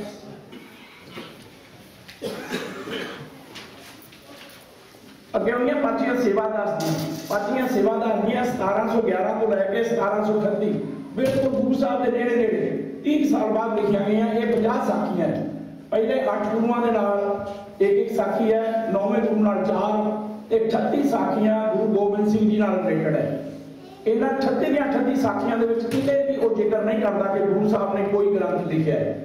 ਉਸ ਤੋਂ ਅੱਗੇ ਕੋਏ ਸਿੰਘ ਗੁਰਬਲਾਸ ਪਾਤਸ਼ਾਹ ਦਸਵੀਂ ਵਾਲਾ ਇਹੀ ਕੋਏ ਸਿੰਘ ਹੈ ਜਿਹਨੇ ਵਾਹ ਵਾਹ ਗੋਬਿੰਦ ਸਿੰਘ ਆਪੇ ਕੋ ਚੇਲਾ ਵਾਲੀ ਉਹ ਵਾਰ 48ਵੀਂ ਵਾਰ ਲਿਖੀ ਹੈ। ਭਾਈ ਗੁਰਦਾਸ ਦੇ ਨਾਮ ਥੱਲੇ। ਇਸ ਨੇ ਸਿੱਖੀ ਦਾ ਬਹੁਤ ਨੁਕਸਾਨ ਕੀਤਾ ਹੈ। ਰੱਜ ਕੇ ਕੀਤਾ ਇਹਨਾਂ ਲੋਕਾਂ ਨੇ ਅਹ, ਸਾਡੇ ਇਤਿਹਾਸ ਨੂੰ ਮਤਲਬ ਕਰਨ ਵਾਸਤੇ ਕਿਉਂਕਿ ਇਹ ਪੜ੍ਹੇ ਲਿਖੇ ਸੀ। ਆਪਾਂ ਪੜ੍ਹੇ ਲਿਖੇ ਨਹੀਂ ਸੀ ਪੇਂਡੂ ਲੋਕ। ਨਾ ਸਾਨੂੰ ਪੜ੍ਹਨਾ ਆਉਂਦਾ ਸੀ ਨਾ ਹੀ ਲਿਖਣਾ ਆਉਂਦਾ ਸੀ। ਸਾਨੂੰ ਤਾਂ ਜੋ ਕਿਹਾ ਅਸੀਂ ਮੱਥਾ ਟੇਕਦਾ ਅੱਜ ਵੀ ਸਾਡੀ ਬਿਰਤੀ ਹੈ ਬਿਰਤੀ ਇਹਦੇ ਵਿੱਚ ਚੇਂਜ ਲਿਆਉਣੀ ਪਏਗੀ। ਕੋਏ ਸਿੰਘ ਨੇ ਆਪਣੀਆਂ ਪਰ- ਗੁਰਬਲਾਸ ਪਾਤਸ਼ਾਹ ਦਸਵੀਂ ਲਿਖੀ ਹੈ 1751 ਚ। ਤਕਰੀਬਨ 43 ਸਾਲ ਬਾਅਦ ਗੁਰੂ ਗੋਬਿੰਦ ਸਿੰਘ ਤੋਂ ਇਹਦੇ ਵਿੱਚ ਕਿਤੇ ਜ਼ਿਕਰ ਦਸਮ ਗ੍ਰੰਥ ਦਾ ਨਹੀਂ ਆਉਂਦਾ। ਕੇਸਰ ਸਿੰਘ ਛਿਪਰ ਜਿਹੜੀਆਂ ਗਵਾਹੀਆਂ ਦੇ ਆਧਾਰ ਤੇ ਦਸਮ ਅਹ ਆਪਣੇ ਟਕਸਾਲੀ ਕਹਿੰਦੇ ਆ ਵੀ ਕੇਸਰ ਸਿੰਘ ਛਿਪਰ ਦੀਆਂ ਗਵਾਹੀਆਂ ਮੁਤਾਬਕ ਦਸਮ ਗ੍ਰੰਥ ਗੁਰੂ ਗੋਬਿੰਦ ਸਿੰਘ ਦਾ ਉਹ ਗਲਤ ਹੈਗਾ ਹੈ, ਕਿਉਂਕਿ ਉਹ ਕਦੇ ਵੀ ਦਸਮ ਗ੍ਰੰਥ ਦਾ ਨਾਮ ਨਹੀਂ ਲੈਂਦਾ। ਉਹ ਵੱਡੇ ਛੋਟੇ ਗ੍ਰੰਥ ਦੀ ਗੱਲ ਕਰਦਾ ਤੇ ਜਿਹੜਾ ਛੋਟਾ ਗ੍ਰੰਥ ਹੈ ਉਹ ਉਹਦੇ ਵਿੱਚ ਸੰਪੂਰਨ ਲੀਲਾ ਅੱਗੇ ਜਾ ਕੇ ਲਿਖ ਦਿੰਦਾ ਹੈ। ਕਿਉਂਕਿ ਆਪਾਂ ਪੜ੍ਹਦੇ ਵੀ ਜੋ ਕਹਿ ਦੇਣ ਸਾਡੇ ਮੂਹਰੇ ਪੀਰ ਵਜਾ ਦੇਣ ਅਸੀਂ ਮੰਨ ਜਾਣੇ ਕਿ ਹਾਂ ਇਹ ਕੋਈ ਗਾਣਾ ਸਭ ਤੋਂ ਪਹਿਲਾਂ ਜੇ ਦਸਮ ਗ੍ਰੰਥ ਦਾ ਨਾਂ ਆਉਂਦਾ ਹੈ, ਤਾਂ ਆ ਇਹ ਗੋਰਿਆਂ ਦੀ ਲਿਖੀ ਕਿਤਾਬ ਹੈ 1814 ਚ। ਇਹਦੇ ਵਿੱਚ ਦਸਮ ਪਾਤਸ਼ਾਹ ਇਹ ਗ੍ਰੰਥ ਦਾ ਨਾਂ ਆਉਂਦਾ ਹੈ। ਗੋਰਿਆਂ ਨੂੰ। ਗੋਰਿਆਂ ਨੂੰ ਕੀ ਲੋੜ ਪਈ ਸੀ? ਸਾਡੇ ਸਿਧਾਂਤ ਨੂੰ ਖਰਾਬ ਕਰਨ ਦੀ। ਇਹ ਸਵਾਲ ਖੜਾ ਹੁੰਦਾ ਗੋਰਿਆਂ ਨੂੰ ਦੇਖੋ, ਸਾਰੇ ਹਿੰਦੁਸਤਾਨ ਨੂੰ ਫਤਿਹ ਕਰਦੇ ਆ ਰਹੇ ਹੈ। ਪਰ ਪੰਜਾਬ ਤੇ ਢਾਵਾ ਬੋਲਣ ਤੋਂ ਪਹਿਲਾਂ ਉਹ 50 ਸਾਲ ਵੇਟ ਕਰਦੇ ਆ। 1700 1604 ਦੇ ਵਿੱਚ ਗੁਰੂ ਅਰਜਨ ਪਾਤਸ਼ਾਹ ਵੀਰ ਸੰਪੂਰਨ ਕਰਦੇ ਆ ਤੇ 1704 ਦੀ ਈਸਟ ਇੰਡੀਆ ਕੰਪਨੀ ਕਲਕੱਤੇ 'ਚ ਸਟੈਬਲਿਸ਼ ਹੁੰਦੀ ਹੈ। ਸਾਰਾ ਹਿੰਦੁਸਤਾਨ ਜਿੱਤ ਲਿਆ। ਮਹਾਰਾਜਾ ਰਣਜੀਤ ਸਿੰਘ ਦੇ ਰਾਜ ਨੂੰ 100 ਸਾਲ ਬਾਅਦ ਹੱਥ ਪਾਉਂਦੇ। ਕਾਰਨ ਸਾਡੀ ਕੌਮ ਦਾ ਜਿਹੜਾ ਸਿੱਧਾ ਜਮਾਇਆ ਹੋਇਆ ਸੀ, ਉਹਦੇ ਬਾਰੇ ਉਹਨਾਂ ਨੂੰ ਪਤਾ ਸੀ। ਸ਼ਾਹ ਮੁਹੰਮਦ ਦਾ ਇੱਕ ਸਰਦਾਰ ਬਾਜੂ ਫੌਜਾਂ ਜਿੱਤ ਕੇ ਅੰਤ ਨੂੰ ਹਾਰਿਆ ਨਹੀਂ ਸੀ ਸਾਡੇ ਕੋਲ ਰਾਜਾ ਨਾ ਹੋਣ ਦੇ ਬਾਵਜੂਦ ਵੀ ਅਸੀਂ ਮੁਦਕੀ ਦੀ ਲੜਾਈ ਜਿੱਤੇ ਹੋਏ ਸੀ, ਪਰ ਹਾਰ ਗਏ। ਡੋਗਰਿਆਂ ਦੀ ਬਦੌਲਤ ਹਾਰ ਗਏ। ਤੇ ਫਿਰ ਜਿਹੜਾ ਰਹਿੰਦੀ ਖੁੰਦੀ ਕਸਰ ਸੀ, ਉਹ ਮਾਸਟਰ ਤਾਰਾ ਸਿੰਘ ਨੇ ਕੱਢ ਦਿੱਤੀ। ਸਾਨੂੰ ਗੋਰਿਆਂ ਨੇ ਤੀਜੀ ਧਿਰ ਮੰਨਿਆ ਹੋਇਆ ਸੀ? ਜਿਹੜੀ ਚੀਜ਼ ਨੂੰ ਅੱਜ ਤੁਸੀਂ ਬੈਠੇ ਰੋ ਰਹੇ ਆ ਨਾ, ਮੈਂ ਵੀ ਸੌਰੀ ਮੈਂ ਤੁਸੀਂ ਕਹਿੰਦਾ ਆਪਾਂ ਰੋ ਰਹੇ ਆ। ਉਹ ਮਾਸਟਰ ਤਾਰਾ ਸਿੰਘ ਦੀ ਬਦੌਲਤ ਹੈ। ਉਹਨੇ ਸਾਡੇ ਜਿਹੜੇ ਹੱਕ ਸੀ, ਉਹ ਖੂਚ ਪਾ ਦਿੱਤੇ। ਇੱਕ ਨਾਲ ਉਹਦੇ ਸੀ ਬਲਦੇਵ ਸਿੰਘ, ਜਿਹੜਾ ਇੰਡਸਟਰੀਅਲ ਸੀ। ਉਹਨਾਂ ਦੀਆਂ ਫੈਕਟਰੀਆਂ ਲੱਗੀਆਂ ਸੀ। ਉਹਨਾਂ ਨੇ ਆਪਣੀਆਂ ਫੈਕਟਰੀਆਂ ਵੇਚ ਕੇ ਬਾਹਰ ਫਿਰ ਬਾਹਰ ਆ ਕੇ ਸਟੈਬਲਿਸ਼ ਹੋਏ ਆ ਪਰ ਆਪਾਂ ਧੱਕੇ ਖਾਣ ਵਾਸਤੇ ਕਿਹਾ ਹਿੰਦੁਸਤਾਨ ਦੇ ਵਿੱਚ ਜਦੋਂ ਮੈਂ ਹਿੰਦੁਸਤਾਨ ਛੱਡਿਆ 72 ਦੇ ਵਿੱਚ, ਤਾਂ ਸਾਡਾ ਰੁਪਈਆ ਡਾਲਰ ਦੇ ਵਿੱਚ 7 ਡਾਲਰ 7 ਰੁਪਏ ਦੇ 5 ਪੈਸੇ ਹੁੰਦੇ ਸੀ। ਅੱਜ ਸਾਡੇ ਕਰੈਕਟਰ ਦੇ ਮੁਤਾਬਕ ਦੇਖੋ ਸਾਡੇ 55 ਰੁਪਏ ਅਮਰੀਕਨ ਡਾਲਰ ਇਹਦਾ ਮਤਲਬ ਆ ਦਿਨੋਂ ਦਿਨ ਨਿਹਾਰਵੰਦੀ ਨੂੰ ਜਾ ਰਹੇ ਹਾਂ।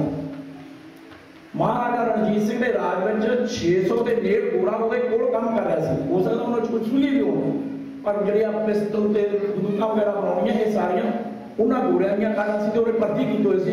ਅੱਜ ਅਸੀਂ ਇਹਨਾਂ ਕੋਲੇ ਆ ਕੇ ਭਰਤੀ ਹੁੰਦੇ ਹਾਂ, ਉਦੋਂ ਗੋਰੇ ਤੁਹਾਡੇ ਰਾਜ ਤੁਹਾਡੇ ਕੋਲੇ ਭਰਤੀ ਸੀ।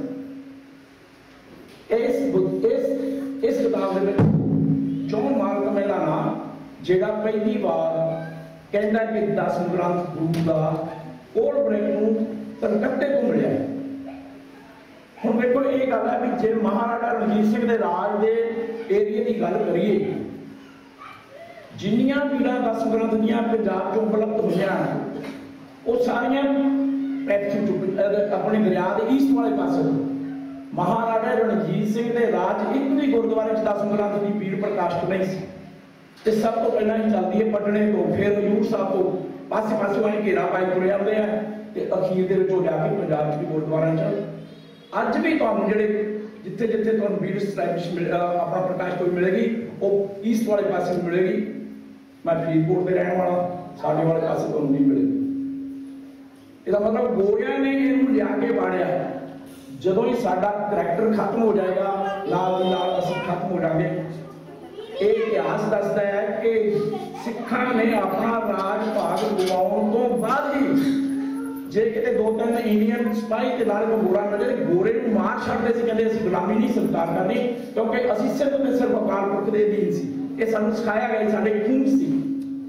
ਪਰ ਦਸ ਗ੍ਰੰਥ ਵਾੜਨਾ ਗੁਰੂ ਗ੍ਰੰਥ ਸਾਹਿਬ ਨੂੰ ਲੁਕਾਉਣ ਦਾ ਕੰਮ ਉਸ ਨਾਲ ਤੋੜਨ ਦਾ ਕੰਮ ਮੈਂ ਕੱਲ ਵੀ ਪੰਕਤੀ ਸਾਂਝੀ ਕੀਤੀ ਸੀ, ਅੱਜ ਫਿਰ ਕਰਾਂ। ਜਿੰਦਰ ਗੋਪਿਆ ਆਪਣਾ ਸੇਨਾਰ ਗੁਰਿਆਰੀ ਗੋਪਿਆ ਦਾ ਮਤਲਬ ਹੁੰਦਾ ਹੈ, ਜਾਂ ਤਾਂ ਉਹ ਵੇਚਾ ਬਣਾ ਕੇ ਉੱਥੇ ਰੱਖ ਦਿਓ, ਜਾਂ ਇੱਕ ਨੂੰ ਪਛਾਣ ਹਟਾ ਲਓ ਦੂਜਾ ਲੁਕੋ ਦੇਣਾ ਸੇਨਾਰ ਗੁਰਿਆਰੀ ਹਰ ਜੀਓ ਦਿਨ ਦਾ ਦਰਸ਼ਨ ਨਾ ਕਰੋ ਪਾਪਿਸਤ ਹਰਿਆਰੀ ਗੁਰੂ ਸਾਹਿਬ ਦਾ ਹੁਕਮ ਸੀ। ਖਸਮ ਛੋੜ ਦੂਜਾ ਲੱਗੇ, ਡੁੱਬੇ ਸੇ ਬਣ ਜਾ ਰਿਹਾ ਇਹ ਤਾਂ ਬੜੇ ਹੁਕਮ ਹੈ ਗੁਰਬਾਣੀ 'ਚ। ਕਿ ਅਸੀਂ ਜੇ ਇੱਕ ਦੇ ਲੜ ਲੱਗ ਜਾਈਏ। ਅੱਜ ਅਸੀਂ ਵੱਖ ਵੱਖ ਕਿਉਂ ਆ? ਕੋਈ ਕਹਿੰਦਾ ਮੈਂ ਫਲਾਣੇ ਸਾਹਿਬ ਨੂੰ ਮੰਨਦਾ, ਕੋਈ ਕਹਿੰਦਾ ਮੈਂ ਫਲਾਣੇ ਸਾਹਿਬ ਨੂੰ ਮੰਨਦਾ। ਕੋਈ ਕਹਿੰਦਾ ਮੈਂ ਮੰਨਦਾ ਹੀ ਨਹੀਂ।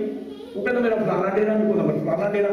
ਅਸੀਂ ਕਦੇ ਵੀ ਮੈਂ ਕਿਸੇ ਦੇ ਮੂੰਹ ਚੋਂ ਇਹ ਨਹੀਂ ਸੁਣਦਾ ਜਿਹੜਾ ਅਮਰ ਛਕਦਾ ਦਾ ਉਹ ਕਹਿੰਦਾ ਜੀ, ਮੈਂ ਰਣਜੀਤ ਸਿੰਘ ਢੱਡਰੀਆਂ ਵਾਲੇ ਕੋਲ ਛਕਿਆ ਇਹਦਾ ਮਤਲਬ ਮੈਂ ਸਿੱਖ ਹੋਰਾਂ ਬਾਬੇ ਨਾਨਕ ਦਾ ਕੋਈ ਕੋਈ ਹੈ ਸਿੱਖ ਬੈਠਾ ਇੱਥੇ ਜਿਹਨੇ ਸੁਣਿਆ ਹੋਵੇ। ਕਦੇ ਕਿਸੇ ਨੂੰ ਅਮਰ ਸਾਹਿਬ ਛੱਕ ਕੇ ਆਇਆ ਹੋਵੇ। ਤੇ ਉਹ ਕਹਿੰਦਾ, ਮੈਂ ਗੁਰੂ ਨਾਨਕ ਸਾਹਿਬ ਸਿੱਖ, ਸਾਹਿਬ ਦਾ ਸਿੱਖ ਬਣ ਗਿਆ ਜੀ ਨਹੀਂ। ਉਹ ਕਹੇਗਾ ਜੀ, ਮੈਂ ਫਲਾਣੇ ਪੰਜਾਂ ਪਿਆਰਿਆਂ ਤੋਂ ਅਮਰ ਛਕਿਆ। ਉਹ ਗੁਰੂ ਪਿਆਰਿਓ ਅਸੀਂ ਜਿਹੜੀ ਖੰਡੇ ਬਾਟੇ ਦੀ ਪੌੜ ਲੈ ਕੇ ਇੱਕ ਹੋਣਾ ਸੀ। ਇੱਕ ਗ੍ਰੰਥ, ਇੱਕ ਪੰਥ। ਇੱਕ ਗ੍ਰੰਥ ਦੇ ਹੋਣ ਦੇ ਬਾਵਜੂਦ ਵੀ ਅੱਜ 500 ਕਿਸਮ ਦੇ ਪੰਥ ਹੈ ਪੰਜਾਬ 'ਚ।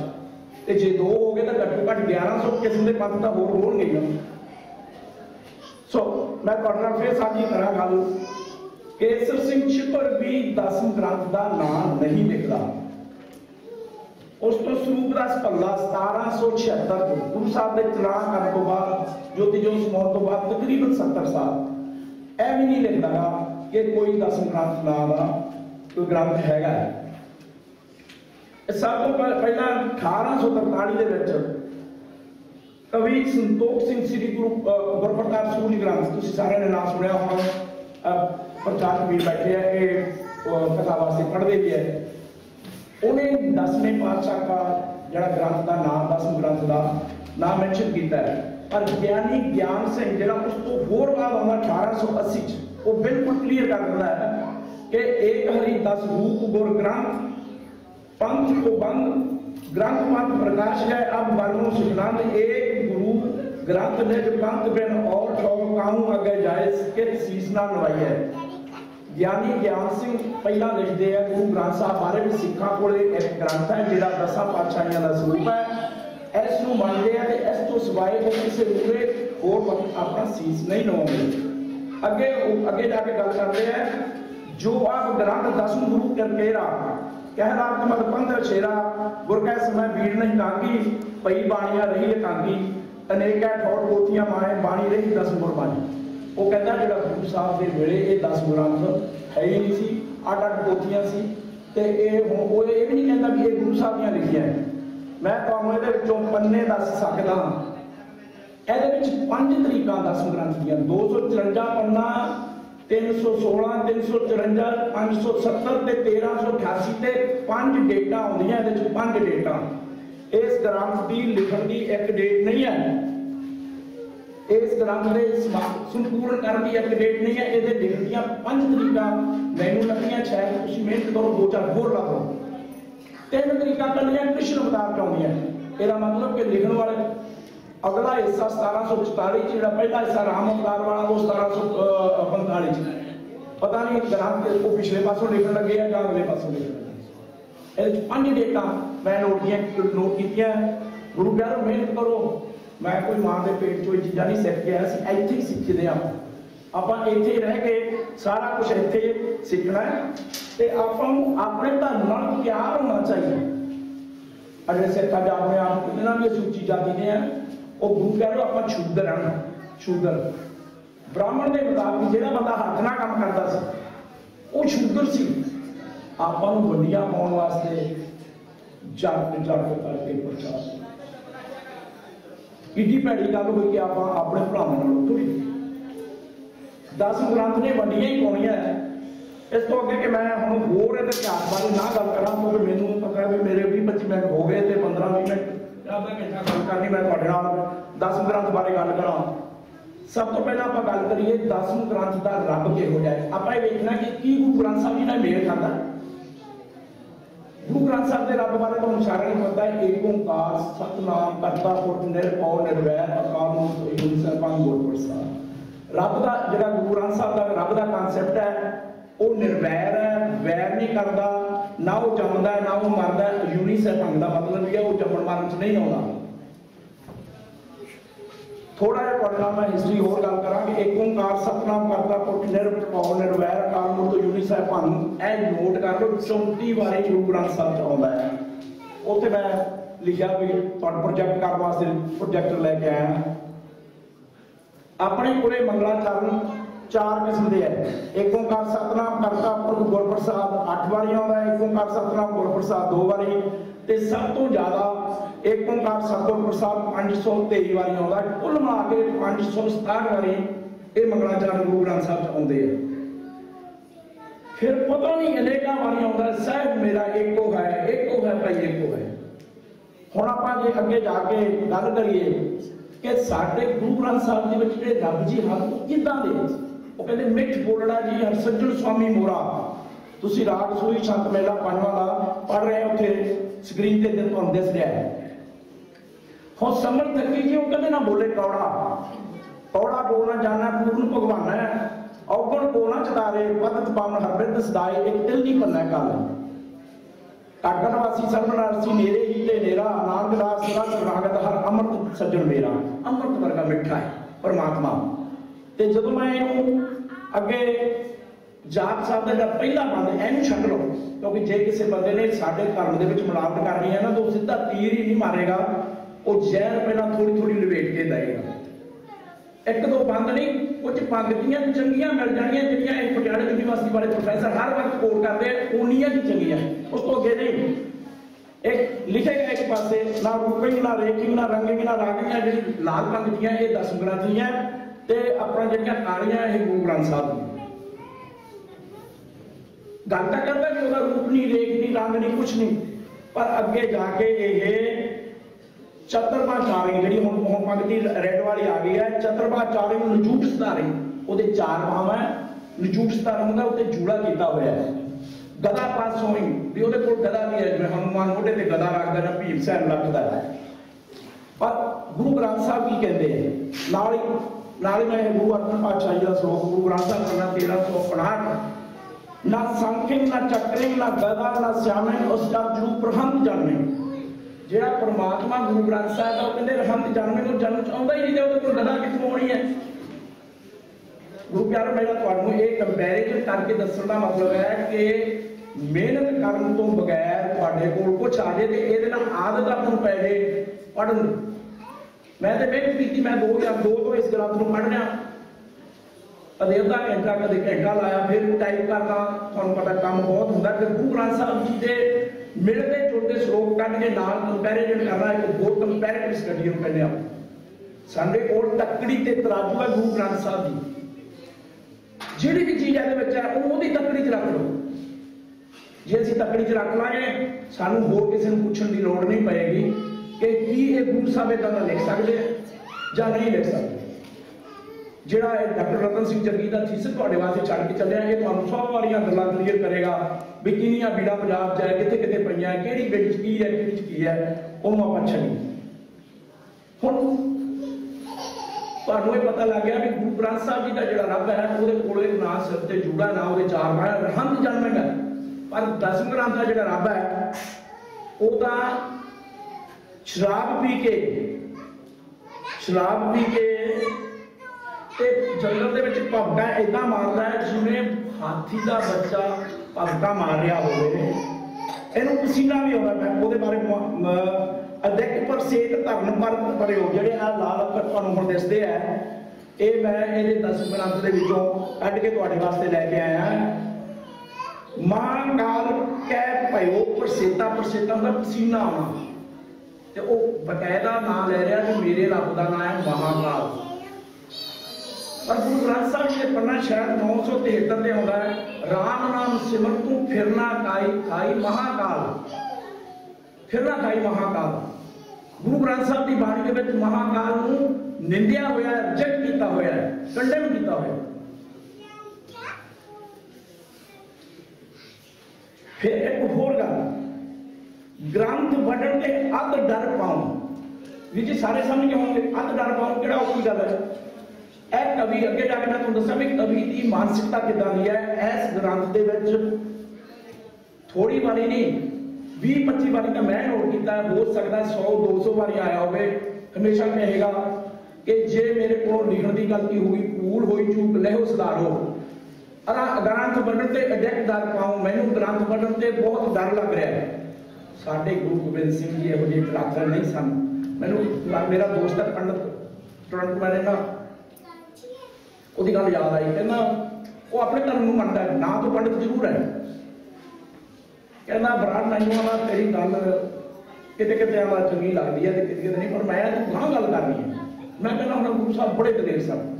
ਕਹਿੰਦਾ, ਅਨੰਦਪੁਰ ਦੀ ਛੋਟੀ ਪਹਾੜੀ ਤੇ ਇੱਕ ਬੰਦਾ ਛੋਟੇ ਕੱਦ ਦਾ ਖੜਾ, ਹੱਥ 'ਚ ਤਲਵਾਰ ਹੈ ਤੇ ਹੁਕਾ ਇਹ ਦਿੰਦਾ ਜੇ ਤੁਸੀਂ ਮੇਰਾ ਸਾਥ ਦਿਓ ਤਾਂ ਮੈਂ ਵੱਡੀ, ਐਡੀ ਵੱਡੀ ਸਲਤਨਤ ਦੀਆਂ ਜੜ੍ਹਾਂ ਪੱਟ ਸਕਦਾ ਕਦੇ ਸੋਚਿਆ ਆਪਾਂ ਇਹ? ਇਹ ਬੜੀ ਹੌਸਲੇ ਦੀ ਗੱਲ ਸੀ ਕਿ ਦੱਖਣ ਤੱਕ ਔਰੰਗਜ਼ੇਬ ਦਾ ਰਾਜ ਹੋਵੇ ਤੇ ਗੁਰੂ ਸਾਹਿਬ ਇੱਕ ਸਟੇਟ ਦੇ ਅੰਦਰ ਦੂਜੀ ਸਟੇਟ ਸਟੈਬਲਿਸ਼ ਕਰਨ ਕਿਲੇ ਬਣਾ ਲੈਣੇ ਅਲਾਉਡ ਨਹੀਂ ਸੀ।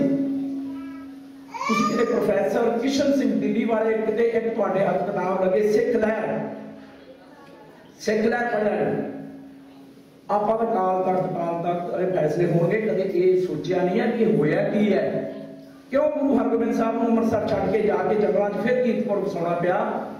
ਉਹ ਕਹਿੰਦਾ, ਇੱਕ ਸਟੇਟ ਦੇ ਅੰਦਰ ਦੂਜੀ ਸਟੇਟ ਦਾ ਉਸਰ ਜਾਣਾ। ਤੇ ਆਪਣੇ ਫੈਸਲੇ ਆਪ ਕਰਨਾ। ਇਹ ਗਵਰਨਮੈਂਟ ਨੂੰ ਸਿੱਧਾ ਚੈਲੰਜ ਸੀ।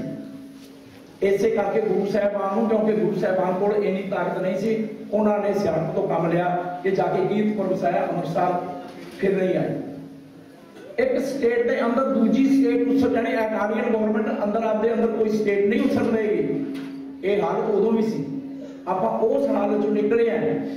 ਗੁਰੂ ਪਿਆਰੋ, ਆਪਾਂ ਪੁਰਾਣਾ ਇਤਿਹਾਸ ਯਾਦ ਕਰੀਏ, ਫਿਰ ਸਾਡੇ ਚ ਤਬਦੀਲੀ ਆਏਗੀ। ਲਾਜ਼ਮੀ ਆਏਗੀ।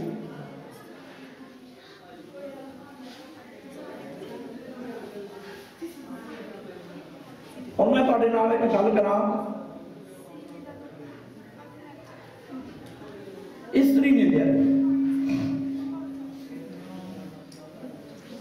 ਗੁਰੂ ਗ੍ਰੰਥ ਸਾਹਿਬ ਜੀ ਦੇ ਵਿੱਚ ਤੁਸੀਂ ਗੁਰਬਾਣੀ ਆਮ ਸਾਡੇ ਨਾਲ ਜ਼ਿਆਦਾ ਪੜ੍ਹਦੇ ਤੁਸੀਂ ਦੱਸੋ ਕਿ ਕਿਤੇ ਤੁਸੀਂ ਗੁਰੂ ਗ੍ਰੰਥ ਸਾਹਿਬ 'ਚ ਕੋਈ ਪੰਕਤੀ ਇਹੋ ਜਿਹੀ ਲੱਭੀ ਹੈ, ਜਿਹੜੀ ਇਸਤਰੀਆਂ ਦੀ ਨਿੰਦਾ ਕਰਦੀ ਹੋਵੇ? ਭੈਣੋ ਜਿਹੜਾ ਧਿਆਨ ਨਾਲ ਸੁਣਨਾ ਸਿੱਖ ਧਰਮ ਦੁਨੀਆ ਦਾ ਪਹਿਲਾ ਧਰਮ ਹੈ ਜਿਸ ਨੇ ਔਰਤਾਂ ਨੂੰ ਬਰਾਬਰ ਇੱਕ ਸਟੇਜ ਤੇ ਬਿਠਾਇਆ ਹੈ। ਚਰਚ ਦੇ ਵਿੱਚ ਵੀ ਔਰਤਾਂ ਨੂੰ ਵੜਨ ਨਹੀਂ ਦਿੱਤਾ ਜਾਂਦਾ ਸੀ। ਅੱਜ ਵੀ ਨਮਾਜ਼ ਵੇਲੇ ਮਸਜਿਦ ਵਿੱਚ ਔਰਤਾਂ ਨੂੰ ਨਹੀਂ ਵੜਨ ਦਿੱਤਾ ਜਾਂਦਾ। ਤੇ ਬਾਹਮਣ ਤਾਂ ਰਸੋਈ 'ਚ ਨਹੀਂ ਸੀ ਵੜ ਦਿੰਦਾ। ਜੋ ਕਹਿੰਦਾ ਸੀ, ਇਹ ਔਰਤਾਂ ਨੂੰ ਪਵਿੱਤਰ ਹੋ ਜਾਂਦੀਆਂ। ਬਾਕੀ ਤੁਸੀਂ ਗੱਲ ਆਪਣੇ ਆਪ ਸਮਝ ਗਏ। ਇਹ ਗੁਰੂ ਨਾਨਕ ਪਾਤਸ਼ਾਹ ਦਾ ਘਰ ਹੈ, ਜਿਹੜਾ ਔਰਤਾਂ ਨੂੰ ਬਰਾਬਰ ਕਹਿੰਦਾ ਛੋਟੋ ਮੰਦਾ ਆਖੀ ਜਿੱਦ ਚ ਮੈਂ ਰਜਾਨ ਇਹੀ ਨਹੀਂ ਹੈ। ਹੋਰ ਵੀ ਚਾਰ ਮੰਗਦੀਆਂ ਆਉਂਦੀਆਂ। ਸਿਰਫ ਤੇ ਸਿਰਫ ਜੇ ਕਿਸੇ ਧਰਮ ਨੇ ਬਚਣਾ ਤਾਂ ਉਹਨੂੰ ਤੁਸੀਂ ਬਚਾਉਣਾ ਹੈ। ਇਹ ਵੀਰਾਂ ਨੇ ਨਹੀਂ ਬਚਾਉਣਾ। ਤੁਸੀਂ ਆਪਣੀ ਔਲਾਦ ਨੂੰ ਜੇ ਕਿਤੇ ਥੋੜੀ ਆਵਾਜ਼ ਘੱਟ ਕਰਿਆ ਆਪਣਾ ਟੂੰ ਜੇ ਕਰਦਾ ਜੇ ਕਿਤੇ ਸਿੱਖ ਧਰਮ ਨੂੰ ਬਚਾਉਣਾ ਤੇ ਬਚਾਉਣਾ, ਤੁਸੀਂ ਆ ਮੈਂ ਕੱਲ ਵੀ ਗੱਲ ਕੀਤੀ ਸੀ ਅਹਿਮਦ ਸ਼ਾਹ ਬਦਾਲੀ ਜਗਰੀਆ ਖਾਨਾ ਖੜਾ ਬੈਠਾ ਗੱਲਾਂ ਕਰ ਰਿਹਾ ਵੀ ਆਹ ਜਿਹੜੇ ਮੈਨੂੰ ਲੁੱਟ ਕੇ ਲੈ ਗਏ ਕਿੱਥੋਂ ਆਏ ਆ। ਉਹ ਕਹਿੰਦਾ, ਮੈਨੂੰ ਨਹੀਂ ਪਤਾ ਕਿੱਥੋਂ ਆਏ। ਕਹਿੰਦਾ, ਇਹਨਾਂ ਦੇ ਘਰ ਘਰ ਕਿੱਥੇ? ਦੱਸ ਮਿੰਟ ਤਬਾਹ ਕਰਨਾ ਕਹਿੰਦਾ, ਇਹਨਾਂ ਦੇ ਘਰ ਘਰ ਹੈ ਤੂੰ ਤਬਾਹ ਕੀ ਕਰੇਗਾ? ਇਹ ਜੰਗਲਾਂ 'ਚ ਰਹਿੰਦੇ ਆ। ਤੇ ਫਿਰ ਆਉਂਦਾ ਕਿਤੋਂ ਕਹਿੰਦਾ ਜੀ, ਇਹ ਪਲੇ ਪਲਾਏ ਆਉਂਦੇ ਆ। ਜਿਹੜੀਆਂ ਬੀਬੀਆਂ ਘਰਾਂ 'ਚ ਹੁੰਦੀਆਂ ਸੀ, ਉਹਨਾਂ ਨੂੰ ਇਹ ਨਹੀਂ ਸੀ ਪਿਆਰ ਕਿ ਮੇਰਾ ਪੁੱਤ ਵੱਡਾ ਹੋ ਕੇ ਨੌਕਰੀ ਕਰੇਗਾ ਉਹਨਾਂ ਨੂੰ ਇਹ ਪਿਆਰ ਸੀ, ਬਾਬੇ ਨਾਨਕ ਦਾ ਸਿਧਾਂਤ ਬਚਾਉਣਾ ਕਿਵੇਂ ਹੈ? ਤੇ ਉਹ ਘਰੇ ਬੈਠੀਆਂ ਸਿੱਖਿਆ ਆਪਣੇ ਪੁੱਤਰਾਂ ਨੂੰ ਦਿੰਦੀਆਂ ਸੀ ਵੀ ਬਾਬੇ ਨਾਨਕ ਦਾ ਸਿਧਾਂਤ ਕੀ ਚੀਜ਼ ਹੈ? ਗੁਰੂ ਗ੍ਰੰਥ ਸਾਹਿਬ ਦੇ ਵਿੱਚ ਇੱਕ ਵੀ ਤੁਹਾਨੂੰ ਪੰਕਤੀ ਐਸੀ ਨਹੀਂ ਲੱਭੇਗੀ ਜਿਹਦੇ 'ਚ ਇਸਤਰੀਆਂ ਦੀ ਨਿੰਦਿਆ ਕੀਤੀ ਹੋਵੇ ਤੇ ਦੂਜੀ ਪੰਕਤੀ ਮੈਨੂੰ ਇੱਕ ਹੋਰ ਯਾਦ ਆ ਗਈ। ਗੁਰੂ ਨਾਨਕ ਸਾਹਿਬ ਨੇ ਇਹ ਸਾਰੀ ਸ੍ਰਿਸ਼ਟੀ ਨੂੰ ਵੀ ਬੰਦੇ, ਔਰਤ, ਸਾਰੀ ਸ੍ਰਿਸ਼ਟੀ ਨੇ ਵੀ ਹੈ, ਸਾਰਿਆਂ ਨੂੰ ਇਹ ਕਿਹਾ ਕਿ ਇਸ ਜਗ में ਪੁਰਖ ਏਕ ਹੈ ਔਰ ਸਗਲੀ ਨਾਰ ਸਬਾਈ। ਆਪਾਂ ਨੂੰ ਔਰਤਾਂ ਨੂੰ ਔਰਤਾਂ ਨੂੰ ਆਪਣੇ ਬਰਾਬਰ ਮਰਦਾਂ ਦੇ ਬਰਾਬਰ ਦਰਜਾ ਦੇਣ ਵਾਸਤੇ ਆਪਾਂ ਸਰੀਰ ਕਰੋ ਰੂਪ ਰੂਪ ਚ ਨਹੀਂ ਆ ਪਏ। ਪਰ ਦਰਜਾ ਇੱਕ ਦੇਣ ਵਾਸਤੇ ਕਿਹਾ ਵੀ ਇਸ ਸੰਸਾਰ ਦਾ ਪੁਰਖ ਇੱਕੋ ਹੀ ਹੈ। ਉਹ ਹੈ ਪ੍ਰਮਾਤਮਾ ਤੇ ਉਹਨਾਂ ਨੂੰ ਨਾਲ ਬਰਾਬਰ ਬਿਠਾਇਆ ਹੈ। ਐਸੀਆਂ ਪੰਕਤੀਆਂ ਤੁਹਾਨੂੰ ਕਿਸੇ ਹੋਰ ਮੈਂ ਕੁਰਾਨ ਸ਼ਰੀਫ ਵੀ ਪੜ੍ਹੀ ਹੈ ਤੇ ਬਾਈਬਲ ਵੀ ਪੜ੍ਹੀ ਹੈ, ਹਿੰਦੂਆਂ ਦੇ ਗ੍ਰੰਥ ਮੈਂ ਨਹੀਂ ਪੜ੍ਹੇ। ਮਾਫ ਕਰਨਾ ਕੋਈ ਕਿਸੇ ਨੂੰ ਇੱਥੇ ਬੈਠਣ ਨੂੰ ਤਕਲੀਫ ਹੋਵੇ। ਮੈਂ ਤਾਂ ਸਾਰੀ ਸਾਰੇ ਸਾਰੇ ਦੁਨੀਆ ਦੇ ਗ੍ਰੰਥ ਨਹੀਂ ਪੜ੍ਹੇ ਜਾ ਸਕਦੇ, ਪਰ ਜਿੰਨੇ ਪੜ੍ਹੇ ਹੈ ਉਹਨਾਂ ਚੋਂ ਮੈਨੂੰ ਕਿਤੇ ਲੱਭਿਆ ਨਹੀਂ ਹੈ। ਆਪ ਪਿਛਲੇ 100 ਸਾਲ ਪਿਛਾਂ ਮਾਰ ਨਜ਼ਰ ਮਾਰ ਕੇ ਵੇਖੋ ਜਿਹੜੀਆਂ ਵੀ ਔਰਤਾਂ ਕ੍ਰਾਂਤੀਕਾਰੀ ਇਹਨਾਂ ਮੁਲਕਾਂ ਚੋਂ ਹੋਈਆਂ ਉਹਨੂੰ ਚੁੜੇਲਾ ਕਹਿ ਸਾੜਿਆ ਗਿਆ ਇਸ ਵੀ ਤੁਸੀਂ ਜਾਣਦੇ ਆ ਇਹਨਾਂ ਮੁਲਕਾਂ ਦੀ ਗੱਲ ਜਿਹੜੇ ਅੱਗੇ ਐਡਵਾਂਸ ਹੈ। ਐਡਵਾਂਸ ਕਿਉਂ ਹੋਏ? ਇਹਨਾਂ ਨੇ ਵੀ ਬਰਾਬਰਤਾ ਦਿੱਤੀ ਹੈ, ਤਾਂ ਬਰਾਬਰ ਹੈ। ਇਸਤਰੀ ਨਿੰਜੈ, ਤ੍ਰਿਆ ਨਾ ਦੀਜੈ ਭੇਦ ਆਏ ਭੇਦ ਲੀਜੈ ਸਦਾ। ਕਹਿ ਸਿਮਰਤ ਅਰ ਵੇਦ ਕੋ ਸਾਰੂ, ਕੋ ਯੋ ਕਹਿ। ਕਹਿੰਦੇ ਔਰਤੀਆਂ ਔਰ ਦਸ ਗ੍ਰੰਥ ਉਹ ਲਾਲ ਪੰਕਤੀਆਂ ਉੱਪਰ। ਕਿ ਔਰਤ ਨੂੰ ਆਪਣੇ ਦਿਲ ਦੀ ਗੱਲ ਨਾ ਦੱਸੋ। ਕੋਈ ਗੱਲ ਵੀਰੋ, ਤੁਸੀਂ ਇੱਕ ਥੱਪ ਕੇ ਕਹਿਣਾ, ਕੋਈ ਘਰ ਚੱਲ ਸਕਦਾ ਜਿੱਥੇ ਆਦਮੀ ਆ ਕੇ ਆਪਣੀ ਗੱਲ ਔਰਤ ਨੂੰ ਨਹੀਂ ਦੱਸਦਾ। ਕੋਈ ਗੱਲ, ਕੋਈ ਕਹੇ ਬੰਦਾ ਵੀ ਮੈਂ ਇਕੱਲਾ ਆਪਣਾ ਘਰ ਚਲਾ ਰਿਹਾ। ਇਹ ਚੱਲ ਨਹੀਂ ਸਕਦਾ, ਪਰ ਸਿੱਖਿਆ ਦਸ ਦਿਨਾਂ ਚੁੜੇ ਮਿਲਦੀ ਹੈ ਕਿ ਆਪਣੇ ਦਿਲ ਦੀ ਗੱਲ ਨਾ ਦੱਸੋ। ਅੱਗੇ ਜਾ ਕੇ ਇਹੋ ਜਿਹੀਆਂ ਪੰਗਤੀਆਂ ਵੀ ਆਉਂਦੀਆਂ ਹੈ। ਬਈ ਜੇ ਬੰਦਾ ਔਰਤ ਨੂੰ ਆਪਣੇ ਦਿਲ ਦੀ ਗੱਲ ਦੱਸੇਗਾ, ਤਾਂ ਉਹਦਾ ਸੱਤਾਂ ਦਿਨਾਂ ਦੇ ਅੰਦਰ ਅੰਦਰ ਨਾਸ ਹੋ ਜਾਏਗਾ ਇਹ ਗ੍ਰੰਥ ਡਰਾਉਂਦਾ ਵੀ ਹੈ। ਗੁਰੂ ਗ੍ਰੰਥ ਸਾਹਿਬ ਸਾਡਾ ਡਰ ਲਾਉਂਦੇ ਆ। ਡਰ ਡਰ ਮਰਤੇ ਜਬ ਜਾਣਿਆ ਦੂਰ, ਡਰ ਦੇ, ਅਹ ਡਰ ਚੁੱਕਾ ਰਹਾ ਭਰਪੂਰ। ਪਹਿਲੇ ਪੰਕਤੀਆਂ ਵੀ ਆਪਾਂ ਨੇੜੇ ਨਾ ਹੀ ਦੂਰ ਨੇ ਜਾਤ ਮੈਂ ਰਹਾ ਭਰਪੂਰ। ਜਦੋਂ ਰੱਬ ਹੀ ਸਾਡੇ ਆਤਮਾ ਦੇ ਵਿੱਚ ਹੁਣ ਲੜਨ ਦੀ ਕਿਹੜੀ ਗੱਲ ਹੈ? ਇਹ ਇਹ ਗ੍ਰੰਥ ਇਹ ਮੈਂ ਤੁਹਾਨੂੰ ਪੰਕਤੀਆਂ ਦਿਖਾ ਰਿਹਾ। ਸਗਲ ਜਗਤ ਮੈਂ ਜੇ ਪੁਰਖ ਤ੍ਰਿਆ ਕੋ ਕਰਤ ਵਿਸ਼ਵਾਸ ਸਾਖ ਦੇ ਭੀਤਰ ਤੁਤ ਹੋ ਤਮਨ ਕੋ ਨਾਸ। ਜਿਹੜੀ ਮੈਂ ਪੰਕਤੀ ਪਹਿਲਾਂ ਬੋਲ ਸਦਾ ਦਿਨਾਂ ਦੇ ਪੋਸਟ ਕਰਦਾ, ਨਾਸ ਹੋ ਜਾਏਗਾ। ਇਸ ਇਸ ਇਸ ਗ੍ਰੰਥ ਦਾ ਜਿਹੜਾ ਰੱਬ ਹੈ ਨਾ, ਉਹ ਔਰਤਾਂ ਨੂੰ ਵਿਦਨਾ ਸਿਰ 'ਚ ਬਹੁਤ ਪਛਤਾਇਓ। ਵਿਦਨਾ ਕਹਿੰਦੇ ਰੱਬ ਨੂੰ। ਉਹ ਭੈਣੋ, ਤੁਹਾਨੂੰ ਤਾਂ ਬਣਾ ਕੇ ਜਿਹੜਾ ਇਸ ਗ੍ਰੰਥ ਦਾ ਦਸ ਗ੍ਰੰਥ ਦਾ ਜਿਹੜਾ ਰੱਬ ਹੈ, ਉਹ ਪਛਤਾ ਰਿਹਾ ਹੈ। ਤੇ ਤੁਸੀਂ ਉਹਨਾਂ ਨੂੰ ਪੁੱਛੋ, ਜਿਹੜੇ ਦਸ ਗ੍ਰੰਥ ਦਾ ਹੋਕਾ ਦਿੰਦੇ ਆ, ਵੀ ਸਾਨੂੰ ਪੈਦਾ ਵੀ ਕਿਉਂ ਕੀਤਾ, ਤੁਹਾਡੇ ਰੱਬ ਨੇ? ਪੁੱਛੋ, ਇਹ ਤੁਹਾਡੇ ਕੋਲੇ ਸਵਾਲ ਹੈ।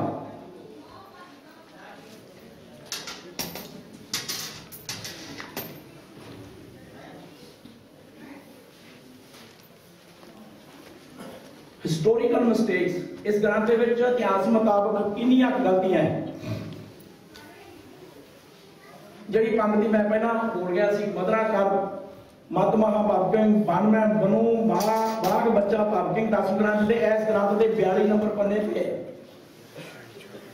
ਦਸ ਗ੍ਰੰਥ ਦਾ ਰੱਬ ਸ਼ਰਾਬ ਪੀ ਕੇ ਐਉਂ ਝਿਆਣਾ ਮਾਰਦਾ ਜਿਵੇਂ ਹਾਥੀ ਜਾਂ ਬਾਗ ਦਾ ਬੱਚਾ ਭੱਗਾ ਮਾਰਦਾ ਹੋਵੇ।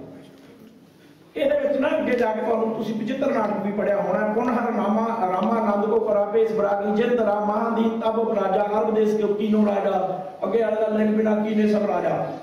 ਉਹ ਮੈਨੂੰ ਕਹਿੰਦਾ ਮਹਾਦੀਨ ਦਾ ਮਤਲਬ ਤੂੰ ਮਹਾਜਤ ਮੁਹੰਮਦ ਸਾਹਿਬ ਕੋਲ ਨੇ, ਮੈਂ ਕਿਹਾ ਅੱਗੇ ਪੰਕਤੀ ਹੋਰ ਪੜ ਲਾ। ਵੀ ਉਹ ਲਿੰਗ ਬਿਨਾ ਦਾ ਮਤਲਬ ਹੈ ਸੁਣ ਕੁਝ ਪੈਂਦੀ ਕਿਤੇ ਮੈਨੂੰ ਕੋਈ ਨਾ ਕੋਈ ਅੱਖਰ ਬੋਲਣਾ ਪੈਂਦਾ। ਇਹ ਮਹਾ ਗੰਦਾ ਗ੍ਰੰਥ ਮੈਂ ਬੜੀ ਸੰਕੋਚ ਕਰਕੇ ਬੋਲ ਰਿਹਾ ਕਿ ਕੋਈ ਇਹੋ ਜਿਹਾ ਅਸ਼ਲੀਲ ਵਰਡ ਨਾ ਨਿਕਲੇ, ਪਰ ਕਿਤੇ ਨਾ ਕਿਤੇ ਲਿੰਗ ਬਿਨਾ ਦਾ ਮਤਲਬ ਹੈ ਸੁਣ।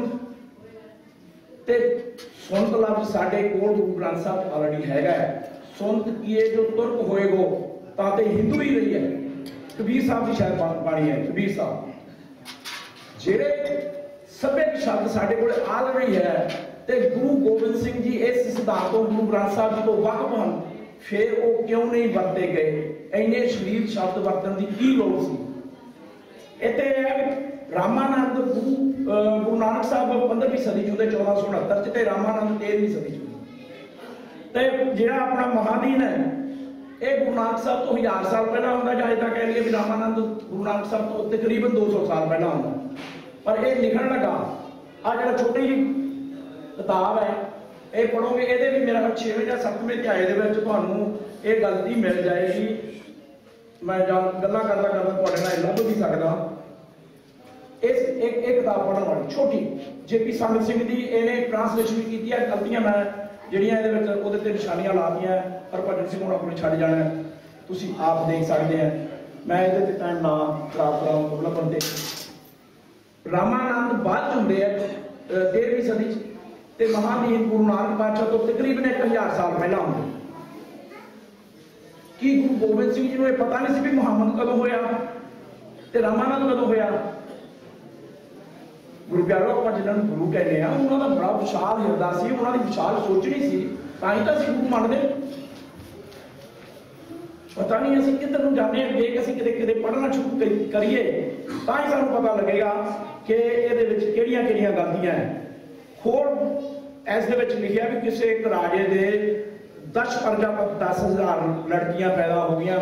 ਪਤਾ ਨਹੀਂ ਉਹਦੇ ਕਿੰਨੀਆਂ ਔਰਤਾਂ ਹੋਣਗੀਆਂ 10000 ਇੱਕ ਬੰਦੇ ਨੇ। ਤੇ ਵਿਆਹੀਆਂ ਕਿਨੂੰ ਸਾਰੇ ਹੀ 10000 ਰਾਜਾ ਇਹ ਗ੍ਰੰਥ ਦੀ ਅੱਗੇ ਆਪਣੇ, ਆਹ ਸਾਰੀ ਡਿਟੇਲ ਦਿੱਤੀ ਹੋਈ ਹੈ। ਹੁਣ ਮੈਂ ਪੁੱਛਦਾ ਵੀ ਜਦੋਂ ਆਪਾਂ ਯਾਦ ਹੋਏ 1947 ਜਦੋਂ 520 ਕੁ ਰਾਜੇ ਸੀ, ਤੇ 10000 ਰਾਜਾ ਕਿਹੜੀ ਧਰਤੀ ਤੇ ਪੈਦਾ ਕੀਤਾ? ਉਸ ਵੇਲੇ ਅੱਜ ਨੂੰ ਪਤਾ ਨਹੀਂ ਜਦੋਂ ਆਬਾਦੀ ਮੇਰਾ ਖਿਆਲ ਸਾਰੇ ਹਿੰਦੁਸਤਾਨ ਦੀ 1 ਕਰੋੜ ਵੀ ਨਹੀਂ ਹੋਈ। ਇਹਨਾਂ ਮਤਲਬ ਗੁਰੂ ਗੋਬਿੰਦ ਸਿੰਘ ਜੀ ਨੂੰ ਪਤਾ ਹੀ ਨਹੀਂ ਹੈ ਇਹਨਾਂ ਗੱਲਾਂ ਦਾ। ਉਹਨਾਂ ਦੀ ਨੀਡ ਨਹੀਂ ਪੀਓ ਹਿੰਦੂ ਧਰਮ ਦੀਆਂ ਕਹਾਣੀਆਂ ਜਿਨ੍ਹਾਂ ਤੋਂ ਸਾਨੂੰ ਗੁਰੂ ਨਾਨਕ ਸਾਹਿਬ ਛੁਟਕਾਰਾ ਪਾਉਂਦੇ ਆ, ਉਹਨਾਂ ਦੀ ਜਾਣ ਸਾਨੂੰ ਜਾਣਨ ਦੀ ਕੀ ਲੋੜ ਹੈ? ਤੇ ਇਹ ਸਟੇਜਾਂ ਤੇ ਹੁਕਾ ਇਹ ਦਿੰਦੇ ਆ ਕਿ ਗੁਰੂ ਸਾਹਿਬ ਨੇ ਡਿਟੇਲ 'ਚ ਇਸ ਕਰਕੇ ਲਿਖਿਆ ਕਿ ਸਿੱਖ ਛੇ ਪੜਦਾ ਕੋਲੇ ਤੇ ਰੱਖੇ ਉਹ ਸਿੱਖ ਨੇ ਘਰੋਂ ਦਾ ਗੁਰੂ ਸਾਹਿਬ ਬਾਹਰ ਬਾਹਰ ਕੱਢ ਦੇ ਵੀ ਚੱਲ ਪੜਦਾ ਤੇਰਾ ਕੋਈ ਕੰਮ ਨਹੀਂ। ਪੰਡਤ ਮੁੱਲਾ ਜੋ ਲਿਖ ਦਿਆ ਛਾੜ ਚਲੇ ਹਮ ਕੁਛ ਨਹੀਂ ਹੈ ਬਾਹਮਣ ਗੁਰੂ ਹੈ ਜਗਤ ਦਾ ਭਗਤ ਦਾ ਕਰਨਾ ਹੈ। ਆਪ ਗੁਬੇਟ ਚੌਂਬੇਤ ਵਿੱਚ ਚੇਲੇ ਦੀ ਲੜਾਈ ਇੰਨੇ ਸਪਸ਼ਟ ਪ੍ਰਮਾਣ ਹੋਣ ਦੇ ਬਾਵਜੂਦ ਸਾਨੂੰ ਹੋਕਾ ਇਹ ਦਿੱਤਾ ਜਾਂਦਾ ਕਿ ਸਿੱਧ ਕਿਤੇ ਬਾਹਮਣਾ ਦੇ ਘਰੇ ਨਾ ਸੋਇਆ ਸਿੱਧ ਬਾਹਮਣਾ ਦੇ ਘਰੇ ਅੱਜ ਜਾਂਦੇ ਪੱਗਾਂ ਵਾਲੇ ਜਾਂਦੇ ਐ ਦਾੜੀਆਂ ਵਾਲੇ ਜਾਂਦੇ, ਕਛਹਿਰੇ ਤੇ ਕਿਰਪਾਨਾਂ ਵਾਲੇ ਜਾਂਦੇ। ਚਲੋ ਤੁਸੀਂ ਜਦੋਂ ਸਰਾਹ ਵਾਲੇ ਪਾਸੋਂ ਦਰਬਾਰ ਸਾਹਿਬ ਵੱਲੋਂ ਇਹਨਾਂ ਤੇ ਨਾਲ ਹੀ ਹਨੂਮਾਨ ਦਾ ਮੰਦਿਰ ਹੈ, ਸੈਚੜੇ ਨੂੰ ਬਾਂਡੀਆਂ ਤੇਲ ਦੀਆਂ ਭਰ ਕੇ ਆ ਸਿਰ ਖੜੇ ਹੁੰਦੇ ਉਹਨਾਂ ਉਹਨਾਂ ਦੁਕਾਨਾਂ ਮੈਂ ਤਾਂ ਹੋਕਾ ਦੇ ਰਿਹਾ, ਅਸੀਂ ਮਰ ਚੁੱਕੀ ਕੌਮ ਆ। ਕਿਉਂ? ਗੁਰੂ ਗ੍ਰੰਥ ਸਾਹਿਬ ਨਾਲ ਟੁੱਟ ਗਏ। ਇਹ ਗ੍ਰੰਥ ਪੜੋ ਤੁਸੀਂ ਲਾਜ਼ਮੀ ਆ ਕਿ ਬਾਹਮਣਾਂ ਦੇ ਘਰੇ ਤੁਰੇ ਜਿਹੜੇ ਬਾਹਮਣਾਂ ਦੇ ਘਰੇ ਨਹੀਂ ਜਾਣਗੇ ਉਹ ਕਿਸੇ ਹੋਰ ਸਾਹ ਦੇ ਡੇਰੇ ਤੋਂ ਗੁਰੂ ਨਾਨਕ ਸਾਹਿਬ ਦਾ ਸਿੱਖ ਬਣਨ ਨੂੰ ਕੋਈ ਤਿਆਰ ਨਹੀਂ ਹੈ, ਕਿਉਂਕਿ ਸਿੱਖੀ ਕਮਾਣੀ ਔਖੀ ਹੈ। ਉਹ ਚਲੋ ਜੀ, ਕੋਈ ਨਹੀਂ ਬਿਜ਼ਨਸ ਥੋੜਾ ਬਹੁਤਾ ਤਾਂ ਝੂਠ ਬੋਲਣਾ ਹੀ ਪੈਂਦਾ। ਕਮਾ ਲਓ ਕਮਾ ਲਓ ਕਹਿੰਦੇ ਗੁਰਦੁਆਰੇ ਨੂੰ ਕਿਉਂ ਝੂਠ ਬੋਲ ਰਿਹਾ ਯਾਰ? ਇੱਥੇ ਬੈਠੋ। ਮੇਰਾ ਸਵਾਲ ਹੁੰਦਾ ਕਿ ਗੁਰਦੁਆਰਾ ਹੀ ਹੈ ਥਾਂ ਜਿੱਥੇ ਨਹੀਂ ਝੂਠ ਤੋਂ ਬਾਹਰ ਹੋਏ ਤੇ ਝੂਠ ਬੋਲੋ ਕੱਲ ਵੀ ਗੱਲ ਮੈਂ ਤੁਹਾਡੇ ਨਾਲ ਸਾਂਝੀ ਕੀਤੀ ਸੀ। ਗੁਰਬਾਣੀ ਦਾ ਰੱਬ ਸਰਵ ਵਿਆਪਕ ਹੈ। ਦੱਸਿਆ ਨਹੀਂ ਗਿਆ ਸਾਨੂੰ। ਕਸੂਰ ਸਾਡਾ ਹੀ ਨਹੀਂ। ਕਸੂਰ ਸਾਡਾ ਨਹੀਂ ਹੈ। ਸਾਨੂੰ ਸਮਝਾਉਣ ਵਾਲਾ ਹੀ ਕੋਈ ਨਹੀਂ ਸੀ ਉੱਠਿਆ। ਤੇ ਜੇ ਅੱਜ ਕੱਲ ਮੇਰੇ ਵਰਗਾ ਕਰਦਾ ਹੈ, ਮੈਂ ਵੀਰੋ 5 ਸਾਲ ਫ੍ਰੀਲਾਂਸਰ ਪਾਠੀ ਸੀ ਦਿੱਲੀ 'ਚ। ਮੇਰਾ ਬਿਜ਼ਨਸ ਸੀ, ਮੈਂ ਆਪਣਾ ਪਰਿਵਾਰ ਪਰਿਵਾਰ ਵੀ ਪਾਲਦਾ ਸੀ ਬਿਜ਼ਨਸ ਵੀ ਕਰਦਾ ਸੀ। ਪਰ ਲੋਕਾਂ ਦੇ ਘਰੀ ਮੈਂ ਪਾਠ ਫ੍ਰੀ ਕਰਨ ਜਾਂਦਾ ਸੀ। ਇਸ ਕਰਕੇ ਕਿ ਮੈਨੂੰ ਪਤਾ ਲੱਗੇ ਗੁਰੂ ਗ੍ਰੰਥ ਸਾਹਿਬ ਦਾ ਸਿਧਾਂਤ ਕੀ ਹੈ, ਲਿਖਿਆ ਕੀ ਹੈ ਜ਼ੁਬਾਨੀ ਬਾਣੀ ਐਵੇਂ ਨਹੀਂ ਹੁੰਦੀ ਯਾਦ ਤੁਹਾਨੂੰ 5-7 ਸਾਲ ਪਾਰ ਕਰਨਾ ਪਏਗਾ। ਫਿਰ ਜਾਂਦੀ ਤੇ ਫਿਰ ਜਿਹੜੀ ਰੰਗ ਤੇ ਤੁਹਾਨੂੰ ਚੜੀ ਆ ਉਹ ਹੋਰ ਨਹੀਂ ਉਹਦੇ ਉੱਤੇ ਰੰਗ ਹੀ ਨਹੀਂ ਹੋਰ ਚੜਦਾ ਲਾਲ ਰੰਗ ਉੱਤੇ ਸਕੋ ਲਗਾ ਕੁਛ ਏਦਾਂ ਦੀ ਪੰਕਤੀ ਉਹਦੇ ਮੈਨੂੰ ਸਾਰੀ ਯਾਦ ਨਹੀਂ ਆਉਂਦੀ। ਮੇਰਾ ਧਿਆਨ ਹੈ? ਜਿਸ ਕੇ ਵਟ ਪਾਗਾ ਨਾ ਮੈਲਾ। ਹਾਂਜੀ। ਜਾਂ ਉਹਦੇ ਵੀ ਸੱਚ ਨਾ ਲੱਗਾ ਮੈਲ ਕਿਆ ਮਨ ਧੋਈ ਹੈ। ਜਿਹਦੇ ਚ ਸੱਚ ਵੜ ਗਿਆ ਉਹਨੂੰ ਉਹ ਮੈਲਾ ਨਹੀਂ ਹੁੰਦਾ ਬੰਦਾ। ਗੁਰੂ ਪਿਆਰੋ ਆਪਾਂ ਇੱਧਰ ਨੂੰ ਮੁੜਨਾ ਹੈ। ਮੇਰਾ ਤਾਂ ਤੁਹਾਨੂੰ ਸਿਰਫ ਇਹ ਇਨਫੋਰਮੇਸ਼ਨ ਦੇਣ ਦਾ ਮਤਲਬ ਇਹ ਹੈ ਕਿ ਇਸ ਗ੍ਰੰਥ ਦੇ ਵਿੱਚ ਕੀ ਕੁਝ ਲਿਖਿਆ ਹੈ ਤੇ ਕੀ ਅਸੀਂ ਛੱਡਣਾ ਹੈ ਤੇ ਕੀ ਅਸੀਂ ਨਹੀਂ ਛੱਡਣਾ।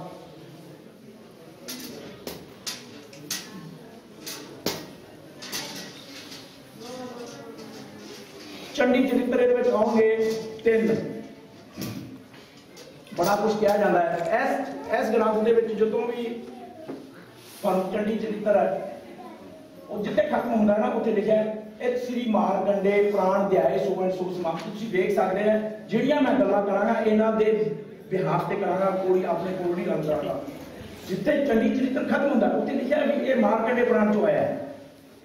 ਅਗੇ ਫਿਰ ਕਹਿੰਦੇ ਜੀ ਉੱਥੇ ਤਾਂ 14 ਦੇ ਸੀ ਤੇ 8 ਕਿਉਂ ਬਣਾ ਜਿਹਨੇ ਮਿਲਾਵਟ ਕਰਨੀ ਆ ਨਾ, ਉਹ ਸੁਦਾ ਮਿਲਾਵਟ ਨਹੀਂ ਤੁਹਾਡੇ ਕੋਲ ਛੱਡੇਗਾ ਕੁਝ ਹੀਰਾ ਫੇਰੀ ਕਰੇਗਾ। ਪਹਿਲਾ ਚੰਡੀ ਚਰਿੱਤਰ।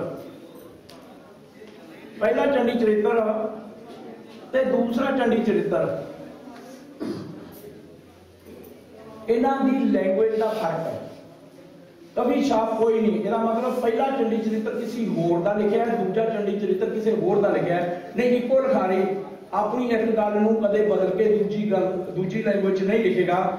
ਇਹ ਗ੍ਰੰਥ ਦੇ ਲਿਖਾਰੀ ਪਤਾ ਨਹੀਂ ਕਿੰਨੇ ਕਾ ਪੰਜ ਡੇਟਾਂ ਦਾ ਮੈਂ ਤੁਹਾਨੂੰ ਦੱਸੀਆਂ, ਇਹਦਾ ਕੁਝ ਹੋਰ ਵੀ ਲੱਭ ਜਾਣੀਆਂ ਚੰਡੀ ਚਰਿੱਤਰ ਪਹਿਲਾ ਤੇ ਦੂਜਾ ਸੇਮ ਉਹੀ ਮਹਿਕਾ ਸੁਰਬੰਦ ਵੱਧ ਆਪਣੇ ਇਹਦਾ ਅੱਠ ਦੈਤਾਂ ਦੇ ਨਾਂ ਹੈ, ਅੱਠਾਂ ਦੈਤਾਂ ਨਾਲ ਦੇਵੀ ਦੀ ਲੜਾਈ ਹੈ। ਤੇ ਦੇਵੀ ਉਹਨਾਂ ਨੂੰ ਮਾਰਦੀ ਹੈ ਤੇ ਜਿਹੜੀ ਤੀਜਾ ਚੰਡੀ ਚਰਿੱਤਰ ਹੈਗਾ, ਉਹ 119 ਪੰਨੇ ਤੋਂ ਸ਼ੁਰੂ ਹੁੰਦਾ ਜਿੱਥੇ ਆਪਣੀ ਅਰਦਾਸ ਦੀ ਪਹਿਲੀ ਪੌੜੀ ਹੈ, ਉਹ ਐਸ ਗ੍ਰੰਥ ਦੇ ਵਿੱਚੋਂ ਲਈ ਗਈ ਹੈ। ਇਸ ਗ੍ਰੰਥ ਦੇ 119 ਪੰਨੇ ਤੇ ਉਹ ਸ਼ੁਰੂ ਹੁੰਦੀ ਹੈ ਤੇ ਕਹਿੰਦੇ ਜੀ, ਜਿਹੜਾ ਆਪਣਾ 119 ਪੰਨਾ ਜੇ ਕਿਸੇ ਨੇ ਉੱਠ ਕੇ ਵੇਖਣਾ ਹੋਵੇ ਬਾਅਦ 'ਚ ਦੇਖ ਲੈ। ਨਿਸ਼ਾਨੀਆਂ ਮੈਂ ਲਾ ਕੇ ਲਿਆ ਇਹ ਵੀ ਇੱਥੇ ਛੱਡ ਜਾਣਾ ਆਪਾਂ। ਕਹਿੰਦੇ ਜੀ, ਇਹ ਇਹ ਗ੍ਰੰਥ ਇਹ ਭਗਉਤੀ ਕੋਈ ਸ਼ਕਤੀ ਕੋਈ ਇਹਦਾ ਆਪਣਾ ਅ, ਕੱਢਣ ਦੇ ਮਤਲਬ ਵੀ ਪ੍ਰਮਾਤਮਾ ਭਗਉਤੀ ਸੂਰਜ ਭਗਵਾਨ ਤੇ ਜਾਣਾ। ਭਗਉਤੀ ਦਾ ਇੱਕ ਮਤਲਬ ਭਗਉਤੀ ਦੇ 14 ਮਤਲਬ ਹੈ। ਇਹਦਾ ਜਿਹੜਾ ਨਿਸਤਾਰਾ ਹੈਗਾ 129 ਪੰਨੇ ਤੇ ਜਾ ਕੇ ਜਿੱਥੇ ਇਹ ਖਤਮ ਹੁੰਦੀ ਹੈ ਵਾਰ। ਜਾਂ 129 ਹਾਂ 127 ਪੰਨੇ ਤੇ ਖਤਮ ਹੁੰਦੀ ਹੈ ਵਾਰ। ਉੱਥੇ ਇਹ ਵਾਰ ਆਪਣੇ ਆਪ ਦੇ ਵਿੱਚ ਫੈਸਲਾ ਕਰ ਦਿੰਦੀ ਹੈ। ਇਹ ਵੀ ਉਦਾਂ ਦੀ ਹੈ। ਰਾਜਾ ਜਿਹੜਾ ਇੰਦਰ ਹੈ ਉਹਦੇ ਜਿਹੜਾ ਸਿੰਘਾਸਣਾ ਉਹ ਥੱਕਾ ਹੋਇਆ ਹੋਇਆ ਹੈ। ਤੇ ਦੈਂਤਾਂ ਨੂੰ ਦੇਵੀ ਮਾਰ ਕੇ ਰਾਜੇ ਇੰਦਰ ਨੂੰ ਸਿੰਘਾਸਣ ਵਾਪਸ ਕਰਦੀ ਹੈ ਉਹਦੇ ਤੇ ਦਿਖਾਉਂਦੀ ਹੈ ਆਪਣੇ ਅਹ, ਸਿੰਘਾਸਣ ਤੇ ਤੇ ਉੱਥੇ ਇਹ ਗੱਲ ਕਲੀਅਰ ਹੋ ਜਾਂਦੀ ਤੋਂ ਆਪਾਂ ਇਹਦੇ ਸਾਰੇ 55 ਬਾਂਦਾ ਦੇ ਅਖੀਰਲੇ ਤਿੰਨ ਬੰਦ ਪੜ੍ਹ ਲੈਣੇ ਆ ਸੁਮਨ ਸੁਮ ਉਠਾਇਆ ਜਮ ਦੇ ਧਾਮ ਨੂੰ ਇੰਦਰ ਸਦ ਬੁਲਾਇਆ ਰਾਜ ਵੇਖ ਨੂੰ ਸਿਰ ਪਰ ਛਦਰ ਛਲਾਇਆ ਬਣਾਇਆ ਰਾਜਾ ਇੰਦਰ ਦੇ 14 ਲੋਕਾਂ ਜਸ ਅਹ, ਛਾਇਆ ਜਸ ਜਗ ਮਾਤਾ ਜਗ ਮਾਤਾ ਕੌਣ ਜੀ ਆਪਾਂ ਤੁਸੀਂ ਤੁਸੀਂ ਹਾਂ ਨਾ ਦਾ ਜਵਾਬ ਦੇਵੋ ਜੇ ਮੈਂ ਕੱਲ ਕਹਿ ਰਿਹਾ ਹਾਂ ਇਹ ਜਗ ਮਾਤਾ ਦੀ ਗੱਲ ਕਰਦਾ ਹੈ ਆਪਾਂ ਜਗ ਪਿਤਾ ਦੀ ਗੱਲ ਕਰਦੇ ਹਾਂ ਇਸ ਜਗ ਮੈਂ ਇੱਕ ਪੁਰਖ ਹੈ ਔਰ ਸਗਲੀ ਨਾਲ ਸਬਾਈ ਆਪਾਂ ਅਕਾਲ ਮੂਰਤ ਦੇ ਪੁਜਾਰੀ ਹਾਂ ਨਾ ਕਿ ਕਿਸੇ ਮਾਤਾ ਦੇ ਦੁਰਗਾ ਪਾਠ ਬਣਾਇਆ ਸਭੇ ਪੌੜੀਆਂ ਫਿਰ ਨਾ ਜੋਨੀ ਆਇਆ ਜਿਹਨੇ ਇਹ ਗਾਇਆ। ਇਸ ਦੀਆਂ ਅਖੀਰਲੀਆਂ ਪੰਕਤੀਆਂ ਦੁਰਗਾ ਪਾਠ ਬਣਾਇਆ ਸਭੇ ਪੌੜੀਆਂ ਫਿਰ ਨਾ ਜੋਨੀ ਆਇਆ ਜਿਹਨੇ ਏਕ ਆਇਆ ਹੁਣ ਇਹਦੇ ਵਿੱਚ ਕੋਈ ਸ਼ੱਕ ਰਹਿ ਗਿਆ ਕਿ ਇਹ ਦੁਰਗਾ ਦੀ ਵਾਰ ਨਹੀਂ? ਇਹਦੇ ਵਿੱਚ ਘੱਟੋ ਘੱਟ 15 ਵਾਰੀ ਦੁਰਗਾ ਦਾ ਨਾਮ ਆਇਆ। ਹੈ ਦੁਰਗਾ ਨਹਾਉਣ ਜਾਂਦੀ ਹੈ, ਇੱਕ ਦਿਨ ਨਹਾਉਣ ਆਈ ਗੁਰੂ ਵਿਸ਼ਾ ਮੈਂ ਸਾਰੀਆਂ ਗੱਲਾਂ ਹੁਣ ਤੁਹਾਡੇ ਨਾਲ ਨਹੀਂ ਇਸ ਕਰਕੇ ਮੈਂ ਥੋੜਾ ਜਿਹਾ ਹੋਰ ਵੀ ਮਟੀਰੀਅਲ ਜ਼ਿਆਦਾ ਤੁਹਾਨੂੰ ਦੇਣਾ ਚਾਹੁੰਦਾ, ਤੁਹਾਡੇ ਮਨ 'ਚ ਉਤਸੁਕਤਾ ਪੈਦਾ ਹੋਵੇ ਕਿ ਵਾਕਈ ਇਹ ਸਾਡਾ ਹੋ ਸਕਦਾ ਜਾਂ ਨਹੀਂ ਹੋ ਸਕਦਾ ਤੇ ਪਤਾ ਉਦੋਂ ਲੱਗਣਾ ਵੀ ਜੀ ਜਦੋਂ ਤੁਸੀਂ ਆਪ ਇਹਨੂੰ ਪੜੋਗੇ ਨਹੀਂ, ਸਾਡੇ ਕੰਨ 'ਚ ਫੂਕ ਕੋਈ ਮਾਰੇਗਾ, ਅਸੀਂ ਸੁਣ ਲਾਂਗੇ ਥੋੜੀ ਦਿਨ ਅੰਦਰ ਹੈਗੀ ਫਿਰ ਫੂਕ ਬਾਹਰ ਨਿਕਲ ਗੁਰੂ ਪਿਆਰੋ, ਆਪਾਂ ਸਿੱਖ ਧਰਮ ਦੇ ਜੇ ਪੁਜਾਰੀ ਹੈ, ਤਾਂ ਪੁਜਾਰੀ ਮੱਥਾ ਟੇਕਣ ਵਾਲੇ ਹੀ ਆਪਾਂ ਪੜ੍ਹਨ ਵਾਲੇ ਬੰਦੇ ਸਾਰਿਆਂ ਨੇ ਨਹੀਂ ਪੜ੍ਹਨਾ ਹੁੰਦਾ। ਸਾਰਿਆਂ ਨੇ ਨਹੀਂ ਪੜ੍ਹਨਾ ਗੁਰੂ ਸਾਹਿਬ ਕਹਿੰਦੇ ਹੈ ਮਿਰਲੇ ਨਹੀਂ ਕਣੇ ਫੈਰ ਪਕੜ ਸੰਸਾਰ ਬਾਣੀ ਗਿਰਲੋ ਵਿਚਾਰ ਸੀ ਜੇ ਕੋ ਗੁਰਮੁਖ ਹੋਏ ਆਪਾਂ ਗੁਰਮੁਖ ਬਣੀਏ ਬਾਣੀ ਵਿਚਾਰੀਏ ਸਭ ਸੇ ਉੱਤਮ ਸਭ ਸੇ ਉੱਤਮ ਗੁਰ ਸ਼ਬਦ ਵਿਚਾਰ ਅਲਪੀ ਪੰਕਤੀ ਹੋ ਗੁਰ ਗੁਰ ਅਹ, ਸ਼ਬਦ ਵਿਚਾਰ ਗੁਰ ਸੇਵਾ ਹੈ ਜੇ ਅਸੀਂ ਸੇਵਾ ਕਰਦੇ ਹਾਂ ਨਾ ਤਾਂ ਮੈਂ ਕੱਲ ਵੀ ਗੱਲ ਕੀਤੀ ਸੇਵਾ 'ਚ ਗੁਰੂ ਦੀ ਸ਼ਬਦ ਦੀ ਵਿਚਾਰ ਸੁਣਨੀ ਹੀ ਸੇਵਾ ਹੈ ਨਾ ਕਿ ਕੁਝ ਹੋਰ ਸੋ ਚੰਡੀ ਚਰਿੱਤਰ ਜਿਹੜਾ ਜਿਹਨੂੰ ਇਹ ਕਿਹਾ ਜਾਂਦਾ ਵੀ ਇਹ ਭਗੌਤੀ ਦੀ ਵਾਰ ਹੈ, ਭਗੌਤੀ ਦੀ ਵਾਰ ਜਿਹੜਾ ਆਪਣਾ ਰਤਨ ਸਿੰਘ ਜੱਗੀ ਹੈ, ਇਹ ਦੱਸੇਗਾ ਕਿ ਪੁਰਾਣੇ ਗ੍ਰੰਥਾਂ ਦੇ ਵਿੱਚ ਇਹਦਾ ਵਾਰ ਦਾ ਨਾਮ ਦੁਰਗਾ ਦੀ ਵਾਰ ਹੈ, ਨਵੇਂ ਗ੍ਰੰਥ ਦੇ ਵਿੱਚ ਇਹਦੇ ਚ ਸ਼ਰਾਰਤ ਨਾਲ ਇਹਦਾ ਨਾਮ ਭਗੌਤੀ ਦੀ ਵਾਰ ਰੱਖ ਦਿੱਤਾ। ਪੁਰਾਣਿਆਂ ਚ ਲਿਖਿਆ ਦੁਰਗਾ ਦੀ ਵਾਰ ਮਿਲੇਗਾ ਸੌਰੀ ਪੁਰਾਣੇ ਗ੍ਰੰਥ ਜਿਹੜੀਆਂ ਹੱਥ ਦੇ ਕਬੀੜਾ, ਦਸ ਗ੍ਰੰਥੀਆਂ ਉਹਨਾਂ ਚ ਦੁਰਗਾ ਦੀ ਵਾਰ ਇਹਦਾ ਆਲਰੇਡੀ ਨਾਂ ਹੈ। ਕਿਉਂਕਿ ਸਿੱਖਾਂ ਨੇ ਦੁਰਗਾ ਮੰਨਣੀ ਇਸ ਕਰਕੇ ਦਾ ਨਾਮ ਬਦਲ ਅੱਜ ਸੰਕਟ ਕੀ ਤੋੜ ਘਟਨ ਕੀ ਕਰ ਫੂਲਣ ਕੀ ਬਰਖਾ ਬਰਖਾਵੇ ਇਹ ਵੀ ਦਰਸ਼ਨ ਗ੍ਰੰਥ ਚੋਂ ਹੈ। ਇਹ ਉਹ ਰਾਜੇ ਇੰਦਰ ਦੇ ਜਿਹੜਾ ਸਿੰਘਾਸਨ ਆਪਣਾ ਦਬਾਉਣ ਦੀ ਗੱਲ ਹੈ ਤੇ ਉੱਥੇ ਇਹ ਪਰੀਆਂ ਆ ਕੇ ਉੱਤੇ ਫੁੱਲ ਸਿੜੀਆਂ ਪਤਾ ਨਹੀਂ ਕਿਹੜੇ ਸਮਾਜ ਤੋਂ ਪਰੀਆਂ ਹੋਈਆਂ, ਅੱਜ ਤੱਕ ਤੱਕ ਕਿਧਰ ਕੋਈ ਆਈ ਅਸੀਂ ਤਾਂ ਦੇਖੀ ਨਹੀਂ। ਸੋ ਆ ਤੁਮ, ਤੁਮਰ ਨੇ ਇਹਦਾ ਸੱਤ ਆਪਣੇ ਜਿਹੜੇ ਹੈਗੇ ਆ ਆਪਣੇ ਦੈਂਤ ਇਹ ਉਹਨਾਂ ਦੀ ਗੱਲ ਚੱਲਦੀ ਪਈ ਹੈ। ਦੇਸ਼ ਸਿਵਾ ਬਰਮ ਹੋਏ ਹੈ। ਇਹ ਵੀ ਚੰਡੀ ਦੇ ਵਾਰ ਚੋਂ ਆ। ਮੈਂ ਕਾਫੀ ਬੜਾ ਲੇਖ ਲੈ ਕੇ ਆਪਣੇ ਸਿੰਘ ਸਭਾ ਕੈਨੇਡਾ ਤੇ ਪਾਇਆ ਹੋਇਆ ਜੇ ਕੋਈ ਸਿੱਖ ਵੀਰ ਆਪਣਾ ਸਿੱਖ ਮਾਰਗ ਖੋਲਦਾ ਹੋਵੇ, ਉਹਦੇ ਤੇ ਵੀ 10 ਗ੍ਰੰਥ ਦੇ ਬਾਰੇ ਜਿਹੜੇ ਲੇਖ ਪਾਏ, ਉਹਨਾਂ ਨੂੰ ਮੇਰਾ ਨਾਮ ਪਾ ਕੇ ਵੇਖ ਲੈਣ। ਸਿਵਾ ਦਾ ਮਤਲਬ ਸ਼ਿਵਜੀ ਨਹੀਂ ਹੈ। ਇਹ ਸਿਵਾ ਦਾ ਮਤਲਬ ਸ਼ਕਤੀ ਨਹੀਂ ਹੈ। ਆਪਾਂ ਕਨਾ ਲਓ? ਬਿਮਲ। ਬਿਮਲ ਨੂੰ ਕੰਨਾ ਲਾ ਦੋ ਬਿਮਲਾ ਬਣ ਜਾਂਦਾ। ਕਮਲ, ਕਮਲਾ।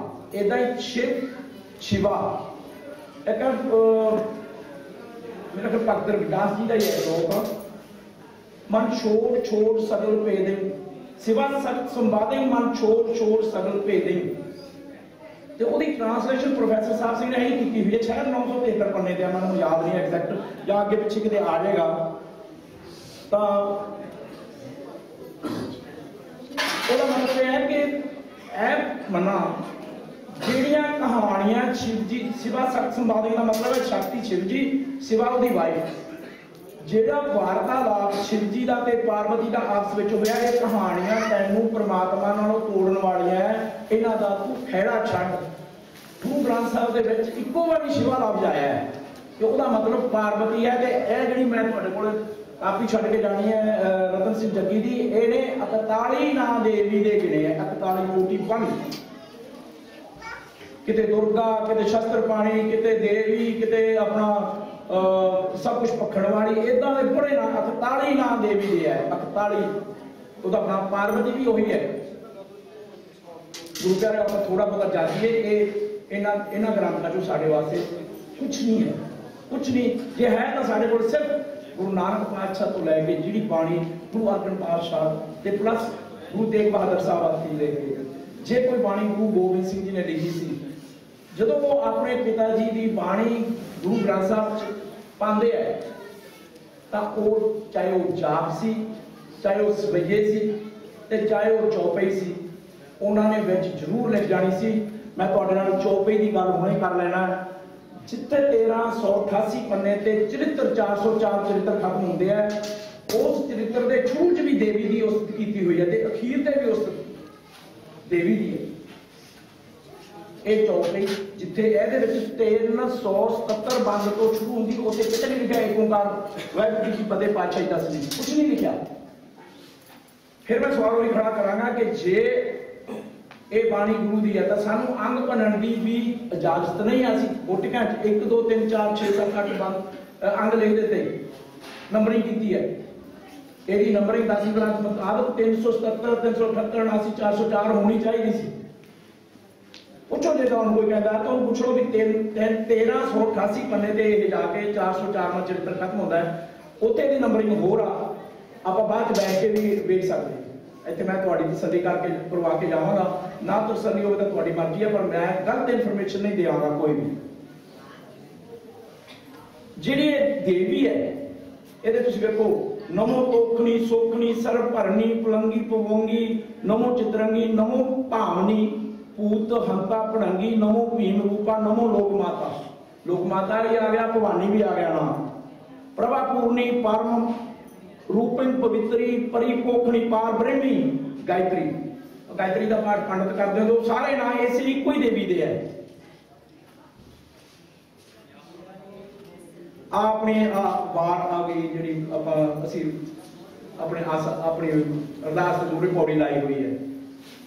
ਇਹਨੂੰ ਜੇ ਅਸੀਂ ਧਿਆਨ ਨਾਲ ਦੇਖੀਏ ਪ੍ਰਥਮ ਪ੍ਰਥਮ ਭਗਉਤੀ ਸਿਮਰ ਕੇ ਗੁਰੂ ਨਾਨਕ ਲਈ ਈ ਨੂੰ ਬਿਹਾਰੀ ਲਾ ਕੇ ਉੱਤੇ ਬਿੰਦੀ ਲਾਈ ਹੈ ਕਿ ਗੁਰੂ ਨਾਨਕ ਪਾਤਸ਼ਾਹ ਨੇ ਵੀ ਭਗਉਤੀ ਨੂੰ ਧਿਆਇਆ ਹੈ। ਗੁਰੂ ਨਾਨਕ ਲਈ ਧਿਆਏ ਦੇਵੀ ਨੇ ਨਹੀਂ ਗੁਰੂ ਨਾਨਕ ਨੂੰ ਧਿਆਇਆ ਗੁਰੂ ਨਾਨਕ ਨੇ ਦੇਵੀ ਨੂੰ ਧਿਆਇਆ ਉਹਨਾਂ ਨੂੰ ਇਹੀ ਤਾਂ ਪੰਗਾ ਹੈ ਕਿ ਇਹ ਇੱਕ ਦੇ ਪਾਸੇ ਕਿਉਂ ਹੈ ਕਿਉਂ ਨਹੀਂ ਕਦੇ ਲਾਟਾਂ ਵਾਲੀ ਦੇ ਜਾਣ, ਕਦੇ ਜਵਾਲਾਮੁਖੀ ਜਾਣ, ਕਦੇ ਕਿਤੇ ਜਾਣ, ਕਦੇ ਕਿਤੇ ਜਾਣ। ਗੁਰੂ ਪਿਆਰੋ, ਤੁਸੀਂ ਇੰਡੀਆ ਜਾਂਦੇ ਹੋ ਨਾ? ਤੁਸੀਂ ਦੇਖੋ ਬਈ, ਇੰਡੀਆ ਦੇ ਵਿੱਚ ਤੁਹਾਨੂੰ ਦੱਸਵਾਂ ਬਾਰਵਾਂ ਟਰੱਕ ਨਾ?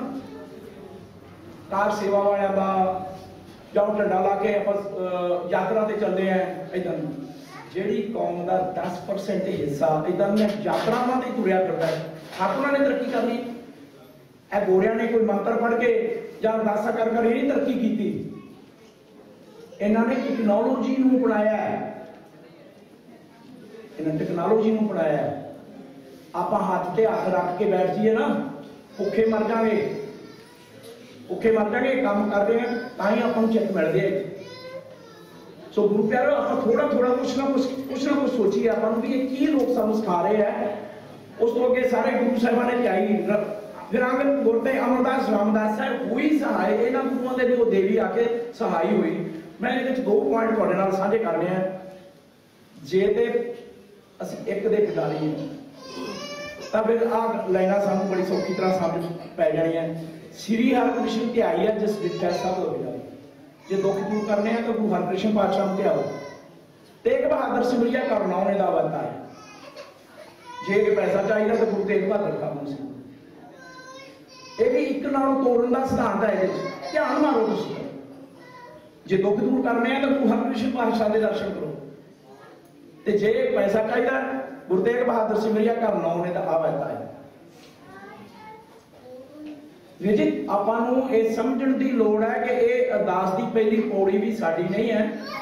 ਅਸੀਂ ਨਹੀਂ ਕਿ ਮੈਂ ਨਹੀਂ ਕਹਿੰਦਾ ਕਿ ਅਰਦਾਸ ਆਪੇ ਨਾ ਕਰੋ ਕਰੋ। ਜਿੰਨਾ ਚਿਰ ਅਕਾਲ ਤਖਤ ਤੋਂ ਹੋਰ ਅਰਦਾਸ ਸਾਡੇ ਕੋਲ ਨਹੀਂ ਹੁੰਦੀ, ਸਾਨੂੰ ਇਹ ਕਰਨੀ ਪੈਣੀ। ਪਰ ਮਾਂ ਉਹਨਾਂ ਚਿਰ ਦੁੱਧ ਨਹੀਂ ਦਿੰਦੀ, ਬੱਚੇ ਨੂੰ ਜਿੰਨਾ ਚਿਰ ਤੁਸੀਂ ਉਹ ਰੌਲਾ ਨਾ ਪਾਵੇ। ਤੁਸੀਂ ਗੋਦੀ 'ਚ ਬਿਠਾ ਕੇ ਬੈਠੀ ਹੋ, ਇਸੇ ਕਰਕੇ ਕਿਉਂਕਿ ਬੱਚਾ ਰੌਲਾ ਪਾ ਰਿਹਾ। ਬੱਚੇ ਨੂੰ ਕੋਈ ਤਕਲੀਫ ਹੈ, ਆਪਾਂ ਦਵਾਈ ਦਿੰਨੇ ਦੁੱਧ ਦਿੰਨੇ ਭੁੱਖਾ ਹੈ ਕੁਝ ਵੀ ਬੱਚਾ ਰੋ ਕੇ ਦੱਸਦਾ ਆਪਾਂ ਵੀ ਰੋਣਾ ਸ਼ੁਰੂ ਕਰੀਏ, ਮੇਰਾ ਸਿਰਫ ਇਹ ਰੋਣਾ ਹੈ। ਮੈਂ ਨਹੀਂ ਕਹਿੰਦਾ ਵੀ ਅਰਦਾਸ ਕਰਨ ਉੱਥੇ ਬਦਲ ਦੇ ਨਾ, ਮੈਂ ਕਹਿੰਦਾ ਆਪਾਂ ਰੋਈਏ, ਤਕੜੇ ਹੋ ਕੇ ਰੋਈਏ ਤਾਂ ਕਿ ਸਾਡੇ ਸੁਧਾਰ ਹੋ ਸਕੇ। ਅਸੀਂ ਦੇਵੀ ਦੇ ਪਾਸ਼ ਨਹੀਂ ਬਣਨਾ ਵੀਰ ਜੀਓ ਪਥ ਮੈਂ ਖੰਡਾ ਸਾਧ ਕੇ ਜਨ ਸਭ ਸੰਸਾਰ ਉਪਾਇਆ ਬ੍ਰਹਮਾ, ਵਿਸ਼ਨੂੰ ਮਹੇ ਸਾਜ ਕੁਦਰ ਕਾ ਖੇਲ ਰਚਾਇਆ। ਪਥ ਮੈਂ ਖੰਡਾ। ਜਦੋਂ ਇਹ ਸ੍ਰਿਸ਼ਟੀ ਸਾਜਣ ਦੀ ਵੀ ਗੱਲ ਕਰਦੇ ਆ ਨਾ ਇਹ ਕੰਨ ਤੇ ਮੈਲ ਨਕਾਰੀ ਤਾਂ ਤੇ ਕੀ ਮਤ ਕੀਟ ਭਈ ਸਾਰੀ ਦੁਤੀਆ ਕੰਨ ਤੇ ਮੈਲ ਨਕਾਰੀ ਤਾਂ ਕਰਤੂਨੀ ਭਈ ਸਾਰੀ ਇਦਾਂ ਦੀ ਗੱਲ ਕਰਦੇ ਮੇਰਾ ਸਵਾਲ ਇਹ ਹੁੰਦਾ ਹੈ ਵੀ ਜੇ ਇੱਕ ਕੰਨ ਤੋਂ ਮੈਲ ਨਿਕਾਲਣ ਨਾਲ ਕੀਟ ਪਤੰਗੇ ਬਣਾ ਲੇ ਉਹ ਰੱਖੇ ਕਾਦੇ ਤੇ ਧਰਤੀ ਦਾ ਵੱਧ 'ਚ ਸਾਜੀ ਹੈ ਦੂਜੀ ਪੰਕਤੀ 'ਚ ਸਾਜੀ ਗਈ ਹੈ ਧਰਤੀ ਦੁਤੀਆ ਕੰਨ ਤੇ ਮੈਲ ਦਾ ਬਾਅਦ 'ਚ ਆਉਂਦੀ ਹੈ ਨਾ ਇਹ ਤੁਹਾਨੂੰ ਇਸ ਵਿਚਿੱਤਰ ਨਾਟਕ 'ਚ ਮਿਲ ਜਾਏਗਾ ਗੁਰੂ ਨਾਨਕ ਪਾਤਸ਼ਾਹ ਜਪਜੀ ਸਾਨੂੰ ਕੀ ਕਹਿੰਦੇ ਆ ਗੁਰੂ ਨਾਨਕ ਪਾਤਸ਼ਾਹ ਸਾਨੂੰ ਜਪਜੀ ਸਮਝਾਉਂਦੇ ਆ ਜਾਂ ਕਰਤਾ ਸ੍ਰਿਸ਼ਟੀ ਕੋ ਸਾਜੇ ਆਪੇ ਜਾਣਾ ਉਹ ਕਹਿੰਦੇ ਤੁਸੀਂ ਇਸ ਝਮੇਲੇ 'ਚ ਨਾ ਪਾਓ ਕਿ ਸ੍ਰਿਸ਼ਟੀ ਕਦੋਂ ਬਣੀ ਤੇ ਕਿਹਨੇ ਸਾਜੀ, ਕਿਵੇਂ ਸਾਜੀ? ਕਹਿੰਦੇ, ਕੋਈ ਪਤਾ ਨਹੀਂ, ਇਹ ਪਰਮਾਤਮਾ ਹੀ ਜਾਣਦਾ। ਆ ਜਿਹੜੇ ਮੈਂ ਗੋਰਿਆਂ ਦੀ ਗੱਲ ਕਰਦਾ, ਇਹ ਕਹਿੰਦੇ ਜੀ ਸੱਤਾ ਸੱਤਵੇਂ ਦਿਨ ਅਗੇ ਰੱਬ ਨੇ ਆਰਾਮ ਕੀਤਾ ਤਾਂ ਸੰਡੇ ਬਣਿਆ ਜੇ ਤੁਸੀਂ ਜਗੂਦੀਆਂ ਦਾ ਇਤਿਹਾਸ ਦੇਖੋ ਕਿ ਜਗੂਦੀ ਸਨਿਚਰਵਾਰ ਦੀ ਛੁੱਟੀ ਕਰਦੇ ਆ ਤੇ ਕ੍ਰਿਸਚੀਅਨਿਟੀ ਉਹਨਾਂ ਚਿਰ ਨਹੀਂ ਵਧੀ, ਜਿੰਨਾ ਚਿਰ ਇਹਨਾਂ ਨੇ ਆਪਣੇ ਆਪ ਨੂੰ ਉਹਨਾਂ ਨੂੰ ਅਲੱਗ ਨਹੀਂ ਕੀਤਾ। ਕ੍ਰਿਸਚੀਅਨ ਲੋਕ ਸੰਡੇ ਦੀ ਛੁੱਟੀ ਕਰਦੇ, ਯਹੂਦੀ ਸੈਟਰਡੇ ਦੀ ਮੁਸਲਮਾਨ ਫਰਾਈਡੇ ਆਪਣੀਆਂ ਤਾਂ ਦੀ ਛੁੱਟੀਆਂ ਕਿਉਂਕਿ ਆਪਾਂ 10% ਤਾਂ ਯਾਤਰਾ ਦੇ ਤੁਰੇ ਰਹਿੰਦੇ ਆ। ਸਿੱਖਾਂ ਨੇ ਕੰਮ ਕੀ ਕਰਨਾ ਹੋਇਆ? ਗੁਰੂ ਨਾਨਕ ਪਾਤਸ਼ਾਹ ਨੇ ਮੁੱਢ 'ਚ ਹੀ ਸਾਨੂੰ ਦੱਸ ਦਿੱਤਾ ਕਿ ਜਾਂ ਕਰਦਾ ਸ੍ਰਿਸ਼ਟੀ ਕੋ ਸਾਡੇ ਆਪੇ ਜਾਣਾ ਸੋਈ 10 ਬਰਾਂ ਦੋਲਾ ਕਹਿੰਦਾ, ਕੰਨ ਤੇ ਮੈਲ ਨਿਕਾਲੀ ਤਾਂ ਤੇ ਆਪਣਾ ਮਦ ਕੀਰਤ ਪਈ ਸਾਰੀ। ਤੇ ਦੂਜੇ ਕੰਨ ਤੋਂ ਮੈਲ ਨਿਕਾਲ ਕੇ ਫਿਰ ਇਹ ਧਰਤੀ ਬਣਾਈ। ਇਹਦੇ ਵਿੱਚ ਕਿਤੇ ਇਹ ਵੀ ਆ ਜਾਏਗਾ ਕਿ ਦੰਤਾਂ ਨੂੰ ਮਾਰਿਆ ਤੇ ਉਹਨਾਂ ਦੀ ਚਰਬੀ ਅਹ, ਸਮੁੰਦਰ ਦੇ ਉੱਤੇ ਤੈਰਨ ਲੱਗੀ ਤੇ ਫਿਰ ਉਹਦੇ ਤੋਂ ਧਰਤੀ ਬਣ ਗਈ। ਵੀ ਜਿਹੜੇ ਦੈਂਤਾਂ ਨਾਲ ਦੇਵੀ ਲੜਾਈ ਕਰ ਰਹੀ ਸੀ ਉਹ ਕਾਹਦੇ ਤੇ ਖੜੀ ਸੀ? ਉਹ ਸਮੁੰਦਰ 'ਚ ਹੀ ਖੜੀ ਲੜ ਰਹੀ ਸੀ। ਆਪਾਂ ਕੁਝ ਸੋਚੀਏ ਵੀ ਕੀ ਠੀਕ ਹੈ ਇਹ ਗੱਲਾਂ ਤੁਹਾਨੂੰ ਸਾਰਿਆਂ ਨੂੰ ਪਤਾ ਹੈ। ਪਰ ਸਿਰਫ ਆਪਾਂ ਇਹਦੇ ਨੂੰ ਆਪਣਾ ਦਿਮਾਗ ਨਹੀਂ ਲੜਾਇਆ। ਜੇ ਅਸੀਂ ਥੋੜਾ ਜਿਹਾ ਵੀ ਥੋੜਾ ਜਿਹਾ ਵੀ ਦਿਮਾਗ ਲੜਾਉਂਦੇ ਤਾਂ ਇਸ ਗੱਲ ਦੀ ਆਪਾਂ ਨੂੰ ਸਮਝ ਪੈ ਸਕਦੀ ਸੀ। ਇਹ ਪੰਕਤੀਆਂ ਮੈਂ ਤੁਹਾਡੇ ਨਾਲ ਦਸ ਗਰਾਂ ਚੋਂ ਪਹਿਲਾਂ ਸਾਂਝੀਆਂ ਕਰ ਲਈਆਂ ਅਹ 14 ਲੋਕਾਂ ਛਾਇਆ ਜਗ ਜਗ ਮਾਤ ਦਾ ਦੁਰਗਾ ਪਾਠ ਬਣਾਇਆ ਸਭੇ ਪੌੜੀਆਂ, ਫਿਰ ਨਾ ਜੋਨੀ ਆਇਆ, ਜਿਹਨੇ ਗਾਇਆ। ਇਹ ਸ੍ਰੀ ਦੁਰਗਾ ਕੀ ਵਾਰ ਸਮਾਪਤੀ, ਇਹਦੇ ਵਿੱਚ ਲਿਖਿਆ ਹੋਇਆ ਹੈ। ਸ਼ੁਰੂ ਹੈਡਿੰਗ ਦਿੱਤਾ ਭਗਉਤੀ ਦੇਖੋ ਤੇਰਾ ਫੇਰੀ ਕਰਨ ਵਾਲਾ ਜੇ ਕਹਿੰਦੇ ਨਾ ਚੋਰ ਪੈਣਾ ਛੱਡ ਜਾਂਦਾ ਹੈ। ਚੋਰ ਪੈਣਾ ਛੱਡ ਜਾਂਦਾ, ਆਪਣੇ ਆਪ ਪੰਜਾਬੀ ਚ ਕਹਾਵਤ ਹੈ ਵੀ ਜੀ ਚੋਰ ਪੈਣ ਛੱਡ ਜਾਂਦਾ। ਇੱਥੇ ਵੀ ਚੋਰ ਨੇ ਪੈਣ ਛੱਡੀ ਹੋਈ ਹੈ। ਅਖੀਰਲੀ ਲਾਈਨ ਕਹਿੰਦਾ, ਇਹ ਸ੍ਰੀ ਦੁਰਗਾ ਕੀ ਵਾਰ ਸਮਾਪਤੀ ਮਸਤ, ਸ਼ੁਭ ਮਸਤ। ਮੈਂ 2 ਮਿੰਟ ਲੈ ਲਾਂ ਤੁਹਾਡੇ। ਮਸਤ, ਸੁਭ ਮਸਤ। ਸਮਾਪਤਨ ਸਤ ਸੁਭਮ ਸਤ ਇਹ ਤੁਸੀਂ ਕਿਸੇ ਦੇ ਘਰੇ, ਹਰ ਇੱਕ ਦੇ ਘਰੇ ਪਈ ਹੋਊਗੀ ਬਾਲੇ ਵਾਲੀ ਸਾਖੀ। ਬਾਲੇ ਵਾਲੀ ਸਾਖੀ ਦੇ ਵਿੱਚ ਵੀ ਇਹ ਹੀ ਲੈਣਾ ਤੁਹਾਨੂੰ ਮਿਲਣਗੀਆਂ। ਉਹਦੇ 674 ਪੰਨੇ ਦੇ ਘਰੇ ਜਾ ਕੇ ਵੇਖਣਾ, ਗੁਰਬਰ ਅਕਾਲ ਲਿਖਿਆ ਮਿਲੇਗਾ 674 ਪੰਨਾ। ਇਹ ਹੀ ਤੁਹਾਨੂੰ ਆਪਣੇ ਜਾਪ 'ਚ ਵੀ ਮਿਲ ਜਾਏਗਾ। ਗੁਰਬਰ ਅਕਾਲ ਪੂਰੀ ਲਾਈਨ ਹੈ। ਜਿਹੜੇ ਜਾਪ ਪੜ੍ਹਦੇ ਆ, ਉਹਨਾਂ ਨੂੰ ਪਤਾ ਹੈ। ਮੈਨੂੰ ਉਹਦਾ ਨੰਬਰਿੰਗ ਦਾ ਨਹੀਂ ਪਤਾ, ਪਰ ਮੈਂ ਲੱਭ ਲੱਭ ਸਕਦਾ। ਬਾਲੇ ਵਾਲੀ ਸਾਖੀ ਲਿਖਣ ਵਾਲਾ ਜਿੱਥੇ ਅਧਿਆਇ ਖਤਮ ਹੁੰਦਾ, ਉੱਥੇ ਆਹਾ ਸਮਾਪਤਨ ਸਤ ਸੁਭਮ ਸਤ ਤੇ ਗੁਰਬਰਾਸ ਪਾਚੇ 6 ਲਿਖਣ ਵਾਲਾ ਵੀ ਆਹੀ ਉਹ ਗੱਲਾਂ ਕਰਦਾ ਹੈ। ਅਫਜੂ ਵੀ ਲਿਖਦਾ ਉਹ ਨਾਲ। ਤੁਸੀਂ ਵੀ ਜੀ ਪੜਿਆ ਹੋਣਾ ਅਫਜੂ ਵੀ ਲਿਖਦਾ ਉਹ ਕਿਉਂਕਿ ਮੈਂ ਇਹ ਸਾਰੇ ਗ੍ਰੰਥ ਪੜ੍ਹ ਚੁੱਕਿਆ, ਮੈਨੂੰ ਤਾਂ ਪਤਾ ਵੀ ਕਿਹੜੀ ਟੈਕਨੀਕ ਹੈ ਇਹ ਸਾਰੇ ਲਿਖਣ ਵਾਲੇ। ਸਿੱਖ ਧਰਮ ਚ ਉਸ ਪੈਠੀ ਸੀ। ਜਿਹੜੀ ਗੁਰਬਲਾਸ ਪਾਚੇ ਛੇਵੀਂ ਹੈ 1922 ਦੇ ਵਿੱਚ ਸੂਝਵਾਨ ਸਿੱਖਾਂ ਨੇ ਇਹਦੀ ਕਥਾ ਹੋਣੀ ਬੰਦ ਕਰਵਾਈ ਸੀ, ਜਿਹਨੂੰ ਫੇਰ 1699 ਦੇ ਵਿੱਚ ਗਿਆਨੀ ਜੁਗਿੰਦਰ ਸਿੰਘ ਮਲਾਤੀ ਜਿਹੜੇ ਸਾਡੇ ਹੈਡ ਗ੍ਰੰਥ ਜਿਹੜੇ ਦਰਬਾਰ ਸਾਹਿਬ ਦੇ ਤੇ ਕਾਦਰ ਦੇ ਜਥੇਦਾਰ ਵੀ ਰਹੇ ਆ, ਉਹਨਾਂ ਨੇ ਕਿਹਾ, ਮੈਂ ਆਪਣਾ ਕੀਤਾ ਕੰਮ ਸਭਾ ਸਮਝਾਂਗਾ ਜੇ ਇਸ ਦੀ ਕਥਾ ਫਿਰ ਗੁਰਦੁਆਰਾ ਹੋਣੀ ਸ਼ੁਰੂ ਹੋ ਜਾਵੇ। ਉਹ ਗੁਰੂ ਪਿਆਰੋ ਸਾਡੇ ਜਥੇਦਾਰ ਹੀ ਜਦੋਂ ਸਾਨੂੰ ਮਾਰਨਾ ਚਾਹੁੰਦੇ ਤਾਂ ਅਸੀਂ ਕਿਵੇਂ ਬਚ ਸਕਦੇ ਜਦੋਂ ਵਾੜ ਹੀ ਖੇਤ ਖਾਣ ਲੱਗ ਪਏ ਤਾਂ ਫਿਰ ਸਾਡਾ ਬਚਾਓ ਕੌਣ ਕਰੇਗਾ? ਖੇਤੀ ਜਿੰਨੀ ਉਜੜੀ, ਖਲਵਾੜੇ ਕਿਆ ਠਾਉ? ਜਿਨ੍ਹਾਂ ਦੀ ਖੇਤੀ ਉਜੜੀ ਨਾ, ਫਿਰ ਮੁਹਾਰੇ ਨਹੀਂ ਲੱਗਦੇ। ਇਹ ਬਚਾਉਣਾ ਸਿੱਖ ਧਰਮ ਕਿਸੇ ਨੇ ਹੋਰ ਨਹੀਂ, ਇਹ ਤੁਸੀਂ ਬਚਾਉਣਾ।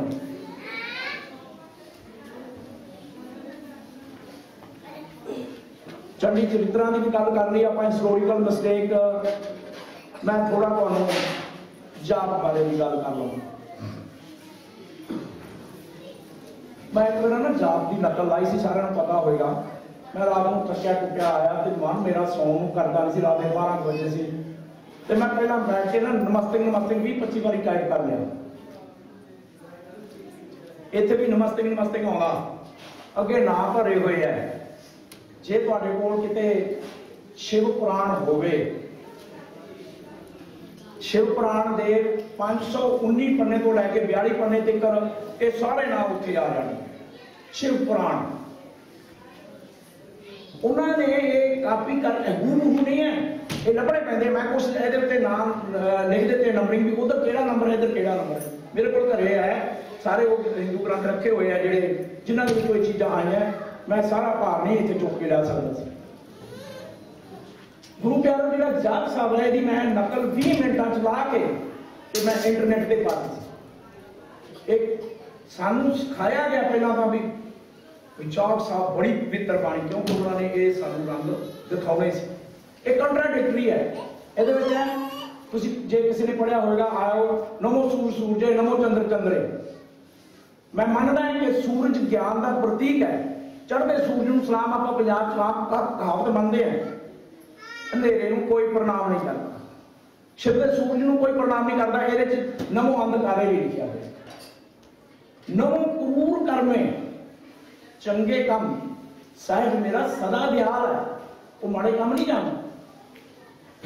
ਇਹਦੇ ਚ ਹੈ, ਕਰੂਰ ਕਰਮੇ ਮਾੜੇ ਕਰਮਾਂ ਨੂੰ ਵੀ ਨਮਸਕਾਰ ਕਮਾਲ ਹੋ ਅਸੀਂ ਚੰਗੀ ਚੀਜ਼ ਨੂੰ ਤਾਂ ਨਮਸਕਾਰ ਕਰਨੀ ਸੀ ਤੇ ਜਿਹੜੇ ਆਪਣੇ ਡਾਕਟਰ ਜੋਤ ਸਿੰਘ ਵੇਖੋ ਕਿ ਗੁਰੂ ਸਾਹਿਬਾਨ ਨੇ ਪਹਿਲੀ ਵਾਰ ਪਿਰਤ ਪਾਈ ਹੈ। ਇਹ ਆ ਨਮੋ ਕਰੂਰ ਕਰਮੇ ਲਿਖੇ ਖਾਕ ਗੁਰੂ ਗੋਬਿੰਦ ਸਿੰਘ ਜੀ ਨੇ ਪਿਰਤ ਪਾਈ ਉਹਨਾਂ ਦੇ ਨਾਂ ਤੇ ਜੇ ਇਹੋ ਜਿਹੇ ਲੋਕ ਗੱਲਾਂ ਮੰਨ ਰਹੇ ਆ, ਉਹਨਾਂ ਨੂੰ ਬਿਲਕੁਲ ਸ਼ਰਮ ਨਹੀਂ ਹੈਗੀ, ਉਹ ਕਿਧਰੇ ਵਿਕੇ ਹੋਏ ਲੋਕ। ਅਤ ਅਡੀਜ ਧਰਮ, ਅਤ ਢੀਠ ਧਰਮ। ਹੁਣ ਅੱਧ ਢੀਠ ਧਰਮ ਦਾ ਤੁਸੀਂ ਸਾਰੇ ਸਮਝੋ ਅਡੀਜ ਧਰਮ ਦਾ ਤੁਸੀਂ ਡੱਡੇ ਨੂੰ ਬਿਹਾਰੀ ਨੂੰ ਅਡਿਟ ਧਰਮ ਚ ਕਨਵਰਟ ਕਰ ਲਓ। ਹਿੰਦੀ ਦੇ ਲਿਖਣ ਦਾ ਇਹ ਤਰੀਕਾ ਹੁੰਦਾ, ਕਿਤੇ ਸਿਆਰੀ ਹੈ, ਉਹ ਬਿਆਰੀ ਚ ਬੁਲਾਈ ਜਾਂਦੀ, ਕਿਤੇ ਬਿਆਰੀ ਸਿਆਰੀ ਚ ਬੁਲਾਈ ਜਾਂਦੀ। ਪਰਮਾਤਮਾ ਦਾ ਧਰਮ ਦੇਖਿਆ ਨਹੀਂ ਜਾ ਸਕਦਾ, ਇਹ ਗੁਰੂ ਗ੍ਰੰਥ ਸਾਹਿਬ ਦੇ ਮੁਤਾਬਕ ਵੀ ਹੈ। ਠੀਕ ਹੈ, ਮੰਨ ਲਿਆ ਇਹ ਗੱਲ। ਨਮਸਕਾਰ ਅਡਿਟ ਕਰਨ ਨੂੰ ਨਮਸਕਾਰ ਕਰ ਲਓ ਪਰ ਅੱਤ ਢੀਠ ਕਰਨ ਦਾ ਤੁਸੀਂ ਕੀ ਕੀ ਕੀ ਫੈਸਲਾ ਕਰੋਗੇ? ਅੱਤ ਢੀਠ ਧਰਮ ਆਪਾਂ ਆਪਣੇ ਜਵਾਕਾਂ ਨੂੰ ਵੀ ਗਾਲਾਂ ਕੱਢਦੇ ਆ ਕਿ ਬੱਚਾ ਤੂੰ ਇੰਨਾ ਢੀਠ ਕਿਉਂ ਹੋ ਗਿਆ? ਹੈ? ਬੱਚਾ ਤੂੰ ਇੰਨਾ ਕਿਉਂ ਢੀਠ ਹੋ ਗਿਆ? ਢੀਠ ਮਤਲਬ ਤੂੰ ਇੰਨਾ ਮਾੜਾ ਕਿਉਂ ਹੋ ਗਿਆ? ਜਿਹੜਾ ਬੱਚਾ ਆਪਣੀ ਮਾਂ ਦੇ ਆਖੇ ਨਾਲ ਲੱਗਦਾ, ਬਾਪ ਦੇ ਆਖੇ ਨਾਲ ਲੱਗਦਾ, ਉਹਨੂੰ ਇਹ ਗੱਲਾਂ ਸਮਝਾ ਦਿੰਦੇ ਆ ਕਿ ਬੱਚਾ ਬਸ ਕਰ। ਇੰਨਾ ਢੀਠ ਨਾ ਹੋ ਕਿ ਅਸੀਂ ਉਸ ਰੱਬ ਨੂੰ ਮੰਨਣਾ ਜਿਹੜਾ ਅਤ ਢੀਠ ਕਰਨ ਵਾਲਾ ਹੈ। ਨਮਸਤੇ ਅਜਨਮੇ। ਇਹ ਵੀ ਤੁਸੀਂ ਤੁਸੀਂ ਸਾਰਿਆਂ ਨੇ ਪੜਿਆ ਮੈਂ ਨਾਲ ਇਹਦੇ ਬੰਦਾਂ ਦੇ ਨੰਬਰ ਵੀ ਪਾਏ ਹੋਏ ਆ। ਅਜਾਏ, ਜਿਹੜਾ ਪੈਦਾ ਨਹੀਂ ਹੋਇਆ, ਜਿਹੜਾ ਜੰਮਿਆ ਨਹੀਂ। ਜਿਹੜਾ ਜੰਮਿਆ ਹੀ ਨਹੀਂ, ਉਹ ਜੰਮਦਾ ਹੀ ਨਹੀਂ ਹੈ ਤੇ ਉਹਨੂੰ ਜੰਮਣ ਅਜਨਮੇ ਦੀ ਲਿਖਣ ਦੀ ਕੀ ਲੋੜ ਸੀ? ਉਹ ਯੂਨੀਸ ਹੈ ਉਹ। ਯੂਨੀਸ ਆਪਣੇ ਆਪ ਨੂੰ ਹੈ ਉਹ ਕੋਈ ਨਹੀਂ ਬਣਾਉਂਦਾ। ਥਾਪਿਆ ਨਾ ਜਾਏ, ਕੀਤਾ ਨਾ ਹੋਏ, ਆਪੇ ਆਪ ਦਾ ਨੰਜਨ ਮੇਰਾ ਸ਼ਾਮ ਹੋ ਬਾਣੀ ਪੜ੍ਹਦੇ ਆ ਪਰ ਪੜ੍ਹਨ ਦੇ ਬਾਵਜੂਦ ਵੀ ਅਸੀਂ ਸਿੱਖਣਾ ਨਹੀਂ ਚਾਹੁੰਦੇ ਕੁਝ ਕਰੁਣਾਲਿਆ ਹੈ। ਇੱਕ ਵਿਧੀ ਧਿਆਨ ਨਾਲ ਵਿਧੀ ਗੱਲ ਹੈ। ਉੱਤੇ ਦੋ ਲਾਂ ਪਾ ਕੇ ਤੇ ਨਾਲ ਬਿੰਦੀ ਪਾਈ ਹੋਈ ਹੈ।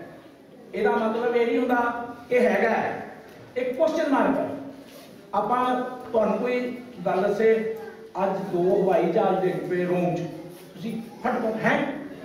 ਇਹਦਾ ਮਤਲਬ ਸਵਾਲ ਕੀਤਾ ਹੈ। ਇਹ ਲੈਂਗੁਏਜ ਥੋੜੀ ਸਮਝਣੀ ਪੈਂਦੀ ਹੈ। ਮੈਂ ਕਾਫੀ ਸਾਲ ਲਾਏ ਇਸ ਕਰਕੇ ਮੈਂ ਤੁਹਾਡੇ ਸਾਹਮਣੇ ਗੱਲ ਕਰਦਾ। ਆਪਾਂ ਕਹਿੰਦੇ, ਹੈ? ਵੀ ਇਹ ਹੋ ਗਿਆ। ਇਹ ਨਹੀਂ ਕਹਿੰਦੇ ਆਪਾਂ ਵੀ ਇਹ ਹੋ ਗਿਆ। ਆਪਾਂ ਕਹਿੰਦੇ, ਹੈ? ਇਹਦਾ ਮਤਲਬ ਇਹਦਾ ਹੋ ਗਿਆ। ਉਹ ਸਵਾਲ ਖੜਾ ਕਰ ਰਿਹਾ। ਹੈ ਕਰੁਣਾਲਿਆ ਹੈ। ਤੇ ਜੇ ਕਰੁਣਾਲਿਆ ਮਤਲਬ ਕਰਣਾ ਕਰਨ ਵਾਲਾ ਹੈ, ਦਿਆਲੂ ਹੈ ਅਰ ਕਾਲਿਆ ਹੈ। ਕਾਲਿਆ ਦਾ ਜਿਹੜਾ ਮਾਰਦਾ ਨਮੋ ਸ਼ਾਂਤ ਸਰੂਪੇ, ਇਹ ਨਮੋ ਕਲਾ ਕਰਤੇ ਵੀ ਆਉਂਦਾ ਜੇ ਰੱਬ ਸ਼ਾਂਤ ਸਰੂਪ ਹੈ ਤੇ ਫਿਰ ਕਲਾ ਕਰ ਉਹ ਤੋਂ ਮੂਲ ਬਚਾਉਣ ਵਾਲਾ ਕਿਵੇਂ ਹੋਇਆ? ਇਸ ਕਰਕੇ ਮੈਂ ਇਹਨਾਂ ਪੰਕਤੀਆਂ ਨੂੰ ਇਦਾਂ ਦਾ ਨਾਂ ਦਿੱਤਾ ਕਿ ਜਾਪ ਸਾਹਿਬ ਜਿਹੜਾ ਹੈ ਕੰਟਰਾਡਿਕਟਰੀ ਹੈ। ਵੀਰੋ ਪੜੋ ਮੈਂ ਨਹੀਂ ਕਹਿੰਦਾ ਨਾ ਪੜੋ ਪੜੋ ਪੜ ਪੜ ਕੇ ਰਿਜ਼ਲਟ ਕੱਢੋ ਵੀ ਮੈਂ ਪੜ ਕੀ ਰਿਹਾ। ਮੈਨੂੰ ਉਹਦੇ ਕੀ ਮਿਲ ਰਿਹਾ ਹੈ? ਦੁਸ਼ਟ ਭੰਜਨ ਹੈ ਮੁਕਤਦਾਇਕ ਹੈ ਅਦੀਪ ਧਰਮ ਹੈ ਅਤ ਢੀਠ ਕਰਮ ਹੈ। ਮੈਂ ਤੁਹਾਡਾ, ਤੁਹਾਡੇ ਨਾਲ ਪਹਿਲਾਂ ਗੱਲਾਂ ਸਾਂਝੀਆਂ ਕਰ ਰਿਹਾ, ਕਿਉਂਕਿ ਮੈਨੂੰ ਲਗਾਤਾਰ ਕਿਤੇ ਨਾ ਕਿਤੇ ਯਾਦ ਆ ਆਉਂਦੀਆਂ ਰਹਿੰਦੀਆਂ ਇਹ ਗੱਲਾਂ। ਲਿਖ ਲਈਆਂ ਸੀ ਪਹਿਲਾਂ। ਆਪਾਂ ਬਾਲੇ ਵਾਲੇ 674 ਪੰਨੇ ਤੇ ਜਿਹੜੇ ਮੈਂ ਤੁਹਾਨੂੰ ਦੱਸ ਕੇ ਗਿਆ ਜੀ, ਗੁਰਬਰ ਅਕਾਲ, ਸਤਿ ਸ੍ਰੀ ਅਕਾਲ। ਗੁਰਬਰ ਅਕਾਲ, ਜਾਪ ਸਾਹਿਬ ਚ ਵੀ ਆਉਂਦਾ ਤੇ ਬਾਲੇ ਵਾਲੀ ਸਾਖੀ ਦੇ 674 ਪੰਨਾ ਜਾ ਕੇ ਘਰੇ ਵੇਖ ਲੈਣਾ।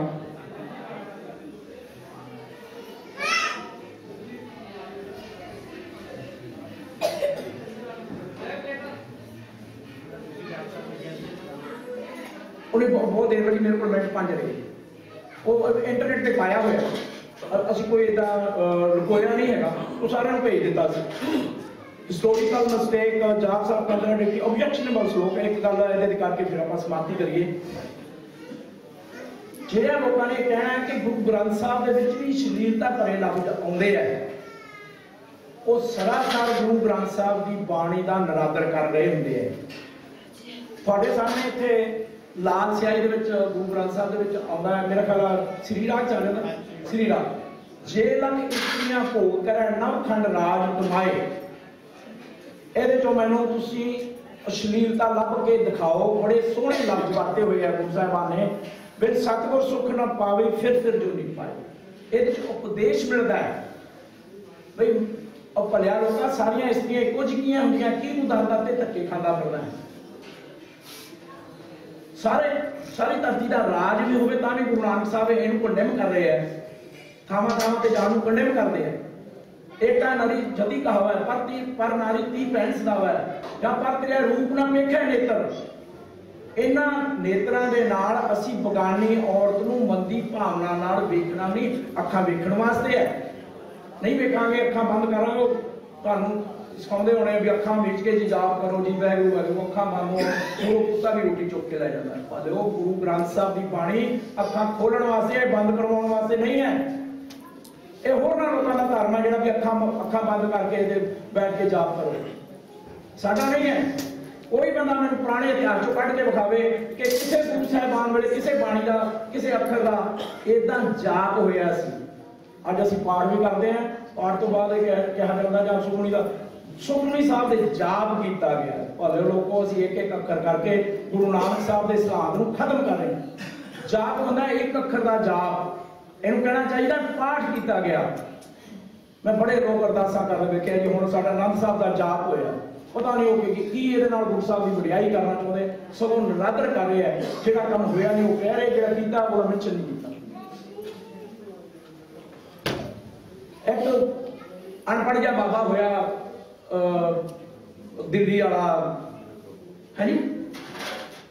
ਦਿੱਲੀ ਗੋਬਿੰਦ ਸਦਨ ਵਿਰਸਾ ਸਿੰਘ। ਉਹ ਮੇਰੇ ਇਲਾਕੇ ਦਾ ਸੀ।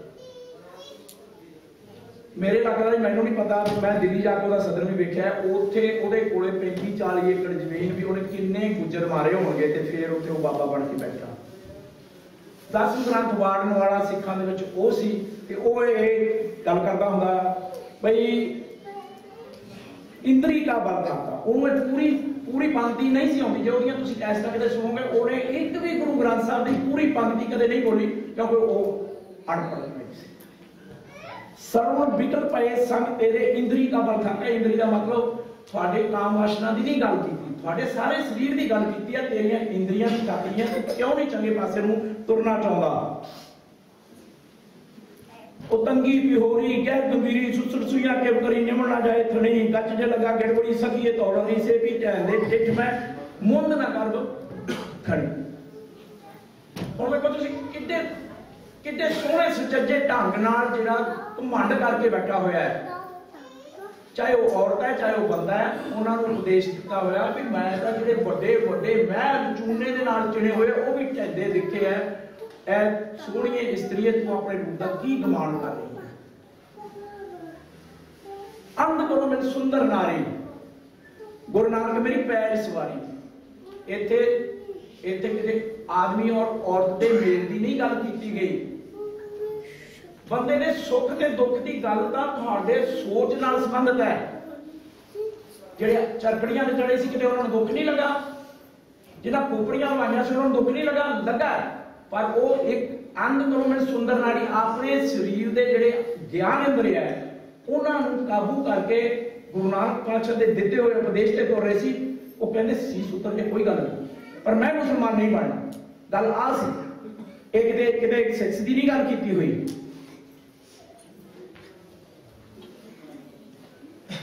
ਗੁਰੂ ਪਿਆਰੋ ਹੁਣ ਮੈਨੂੰ ਅਹ, ਆਪਣਾ ਆਪਣਾ ਸਮਾਪਤੀ ਕਰਨੀ ਪੈਣੀ ਹੈ। ਮੇਰਾ ਸਮਾਂ ਹੋ ਗਿਆ ਜਿੰਨੀਆਂ ਗੱਲਾਂ ਮੈਂ ਤੁਹਾਡੇ ਨਾਲ ਸਾਂਝੀਆਂ ਕੀਤੀਆਂ ਇਹਦੇ ਬਾਰੇ ਕਿਸੇ ਨੂੰ ਸ਼ੰਕਾ ਹੋਵੇ ਮੈਂ ਤੁਹਾਡੇ ਕੋਲੇ ਅਗਲਾ ਘੰਟਾ 2 ਘੰਟੇ ਬੈਠ ਸਕਦਾ ਕਿਤਾਬਾਂ ਮੇਰੇ ਕੋਲੇ ਇੱਥੇ ਤੁਹਾਡੇ ਛੱਡ ਕੇ ਜਾਣੀਆਂ ਤੁਸੀਂ ਆਪ ਪੜੋ ਬੋਲਦਿਆਂ ਕਿਤੇ ਕੋਈ ਗੱਲ ਵੱਧ ਘੱਟ ਹੋ ਗਈ ਹੋਵੇ ਤਾਂ ਮੈਂ ਗੁਰੂ ਗ੍ਰੰਥ ਸਾਹਿਬ ਜੀ ਦੇ ਪਾਸੋਂ ਖਿਮਾ ਦਾ ਜਾਚਕਾਂ ਤੁਹਾਡਾ ਸੰਗਤਾਂ ਦਾ ਬਹੁਤ ਬਹੁਤ ਧੰਨਵਾਦ ਜਿਨ੍ਹਾਂ ਨੇ ਧਿਆਨ ਨਾਲ ਮੇਰੇ ਵਰਗੇ ਨਿਮਾਣੇ ਬੰਦੇ ਦੀਆਂ ਗੱਲਾਂ ਸੁਣੀਆਂ, ਆਪਣਾ ਕੀਮਤੀ ਸਮਾਂ ਕੱਢਿਆ ਤੇ ਗੱਜ ਕੇ ਬੁਲਾਓ ਜੀ, ਫਤਿਹ ਵਾਹਿਗੁਰੂ ਜੀ ਕਾ ਖਾਲਸਾ। ਵਾਹਿਗੁਰੂ ਜੀ ਕੀ ਫਤਿਹ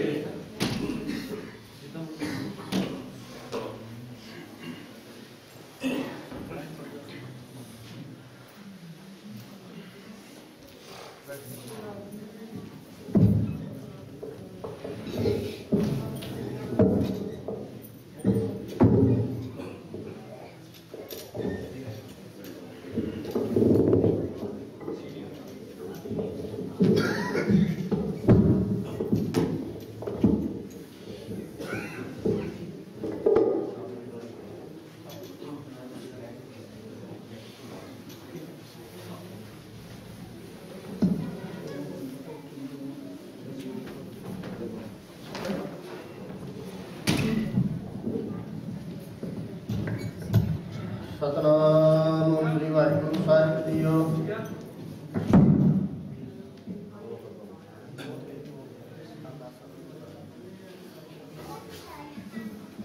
ਸਤਨਾਮ ਸ੍ਰੀ ਵਾਹਿਗੁਰੂ ਸਾਹਿਬ ਜੀਓ ਰਾਮ ਕਲੀ ਮਹੱਲਾ ਤੀਜਾ ਆਨੰਦ, ਇੱਕ ਓੰਕਾਰ, ਸਤਿਗੁਰ ਪ੍ਰਸਾਦ। ਆਨੰਦ ਪਿਆ ਮੇਰੀ ਮਾਏ ਸਤਿਗੁਰੂ ਮੈਂ ਪਾਇਆ, ਸਤਿਗੁਰ ਕਾ ਪਾਇਆ ਸਹਿ ਹੈ ਜੋ ਛੇਤੀ ਮਨ ਬਦੀਆਂ ਵਧਾਈਆਂ, ਰਾਗ ਰਤਨ ਪਰਵਾਰ ਭਰੀਆਂ, ਸ਼ਬਦ ਗਾਵਨੇ ਆਈਆਂ, ਸ਼ਬਦੋਂ ਕਾ ਗਾਵੋ ਹਰੀ ਕੇਰਾ। ਮਨ ਜਿਨੀ ਵਸਾਇਆ ਕਹਿ ਨਾਨਕ ਆਨੰਦ ਹੋਆ, ਸਤਿਗੁਰੂ ਮੈਂ ਪਾਇਆ ਏ ਮਨ ਮੇਰਿਆ ਸਦਾ ਰਹੋ ਹਰ ਨਾਲੇ ਹਰ ਨਾਲ ਰਹੋ ਤੂੰ ਮਨ ਮੇਰੇ। ਦੁਖ ਸਭ ਵਿਸਾਰਣਾ ਅੰਗੀਕਾਰੋ ਕਰੇ ਤੇਰਾ ਕਾਰਜ ਸਭ ਸਵਾਰਣਾ ਸਭ ਨਾਮਲ ਸਮਰੱਥ ਸੁਆਮੀ ਸੁਖ ਮਨੋ ਵਿਸਾਰੇ। ਕਹਿ ਨਾਨਕ ਮਨ ਮੇਰੇ, ਸਦਾ ਰਹੋ ਹਰ ਨਾਲੇ ਦਾਤੇ ਸਾਹਿਬਾ ਕਿਆ ਨਾਹੀ ਕਰਤੇ ਰਹਿ ਕਰਤਾ ਤੇਰਾ ਸਭ ਕੁਛ ਹੈ, ਜਿਸ ਤੇ ਹੈ ਸੋ ਪਾਵੇ ਸਦਾ ਸਿਫ ਸਲਾਹ ਤੇਰੀ ਨਾਮ ਮਨ ਵਸਾਵੇ। ਨਾਮ ਜਿਨ ਕੈ ਮਨ ਵਸਿਆ, ਵਾਜੇ ਸ਼ਬਦ ਕਨੇਰੇ ਕਹਿ ਨਾਨਕ ਸੱਚੇ ਸਾਹਿਬ, ਕਿਆ ਨਾਹੀ ਕਰਤੇ ਰਹਿ, ਸਾਚਾ ਨਾਮ ਮੇਰਾ ਆਧਾਰੋ ਸਾਚ ਨਾਮ ਆਧਾਰ ਮੇਰਾ, ਜਿਨ ਭੁੱਖਾਂ ਸਭ ਗਵਾਈਆਂ ਕਰ ਸ਼ਾਨ ਸੁਖ ਮਨ ਆਏ ਵਸਿਆ। ਜਿਨ ਇੱਛਾ ਸਭ ਪੁਜਾਈਆਂ, ਸਦਾ ਕੁਰਬਾਨ ਕੀਤਾ ਗੁਰੂ ਵਿਟੋ ਜਿਸ ਦੀਆਂ ਇਹ ਵਡਿਆਈਆਂ, ਕਹਿ ਨਾਨਕ ਸੁਨੋ ਸੰਤੋ ਸ਼ਬਦ ਤਰੋ ਪਿਆਰੋ ਸਾਚਾ ਨਾਮ ਮੇਰਾ ਆਧਾਰੋ ਵਾਕੇ ਪੰਜ ਸ਼ਬਦ ਘਰ ਸੁਭਾਗੈ। ਕਾਰ ਸੁਭਾਗੈ ਸ਼ਬਦ ਵਾਜੇ, ਕਲਾ ਕਰਤਾਰਿਆ ਪੰਜ ਦੂਤ ਦਵਸ ਕੀਤੇ, ਕਾਲ ਕੰਟਕ ਮਾਰਿਆ, ਦੂਰ ਕਰਮ ਪਾਇਆ, ਤੁਧ ਜਿਨ ਕਾ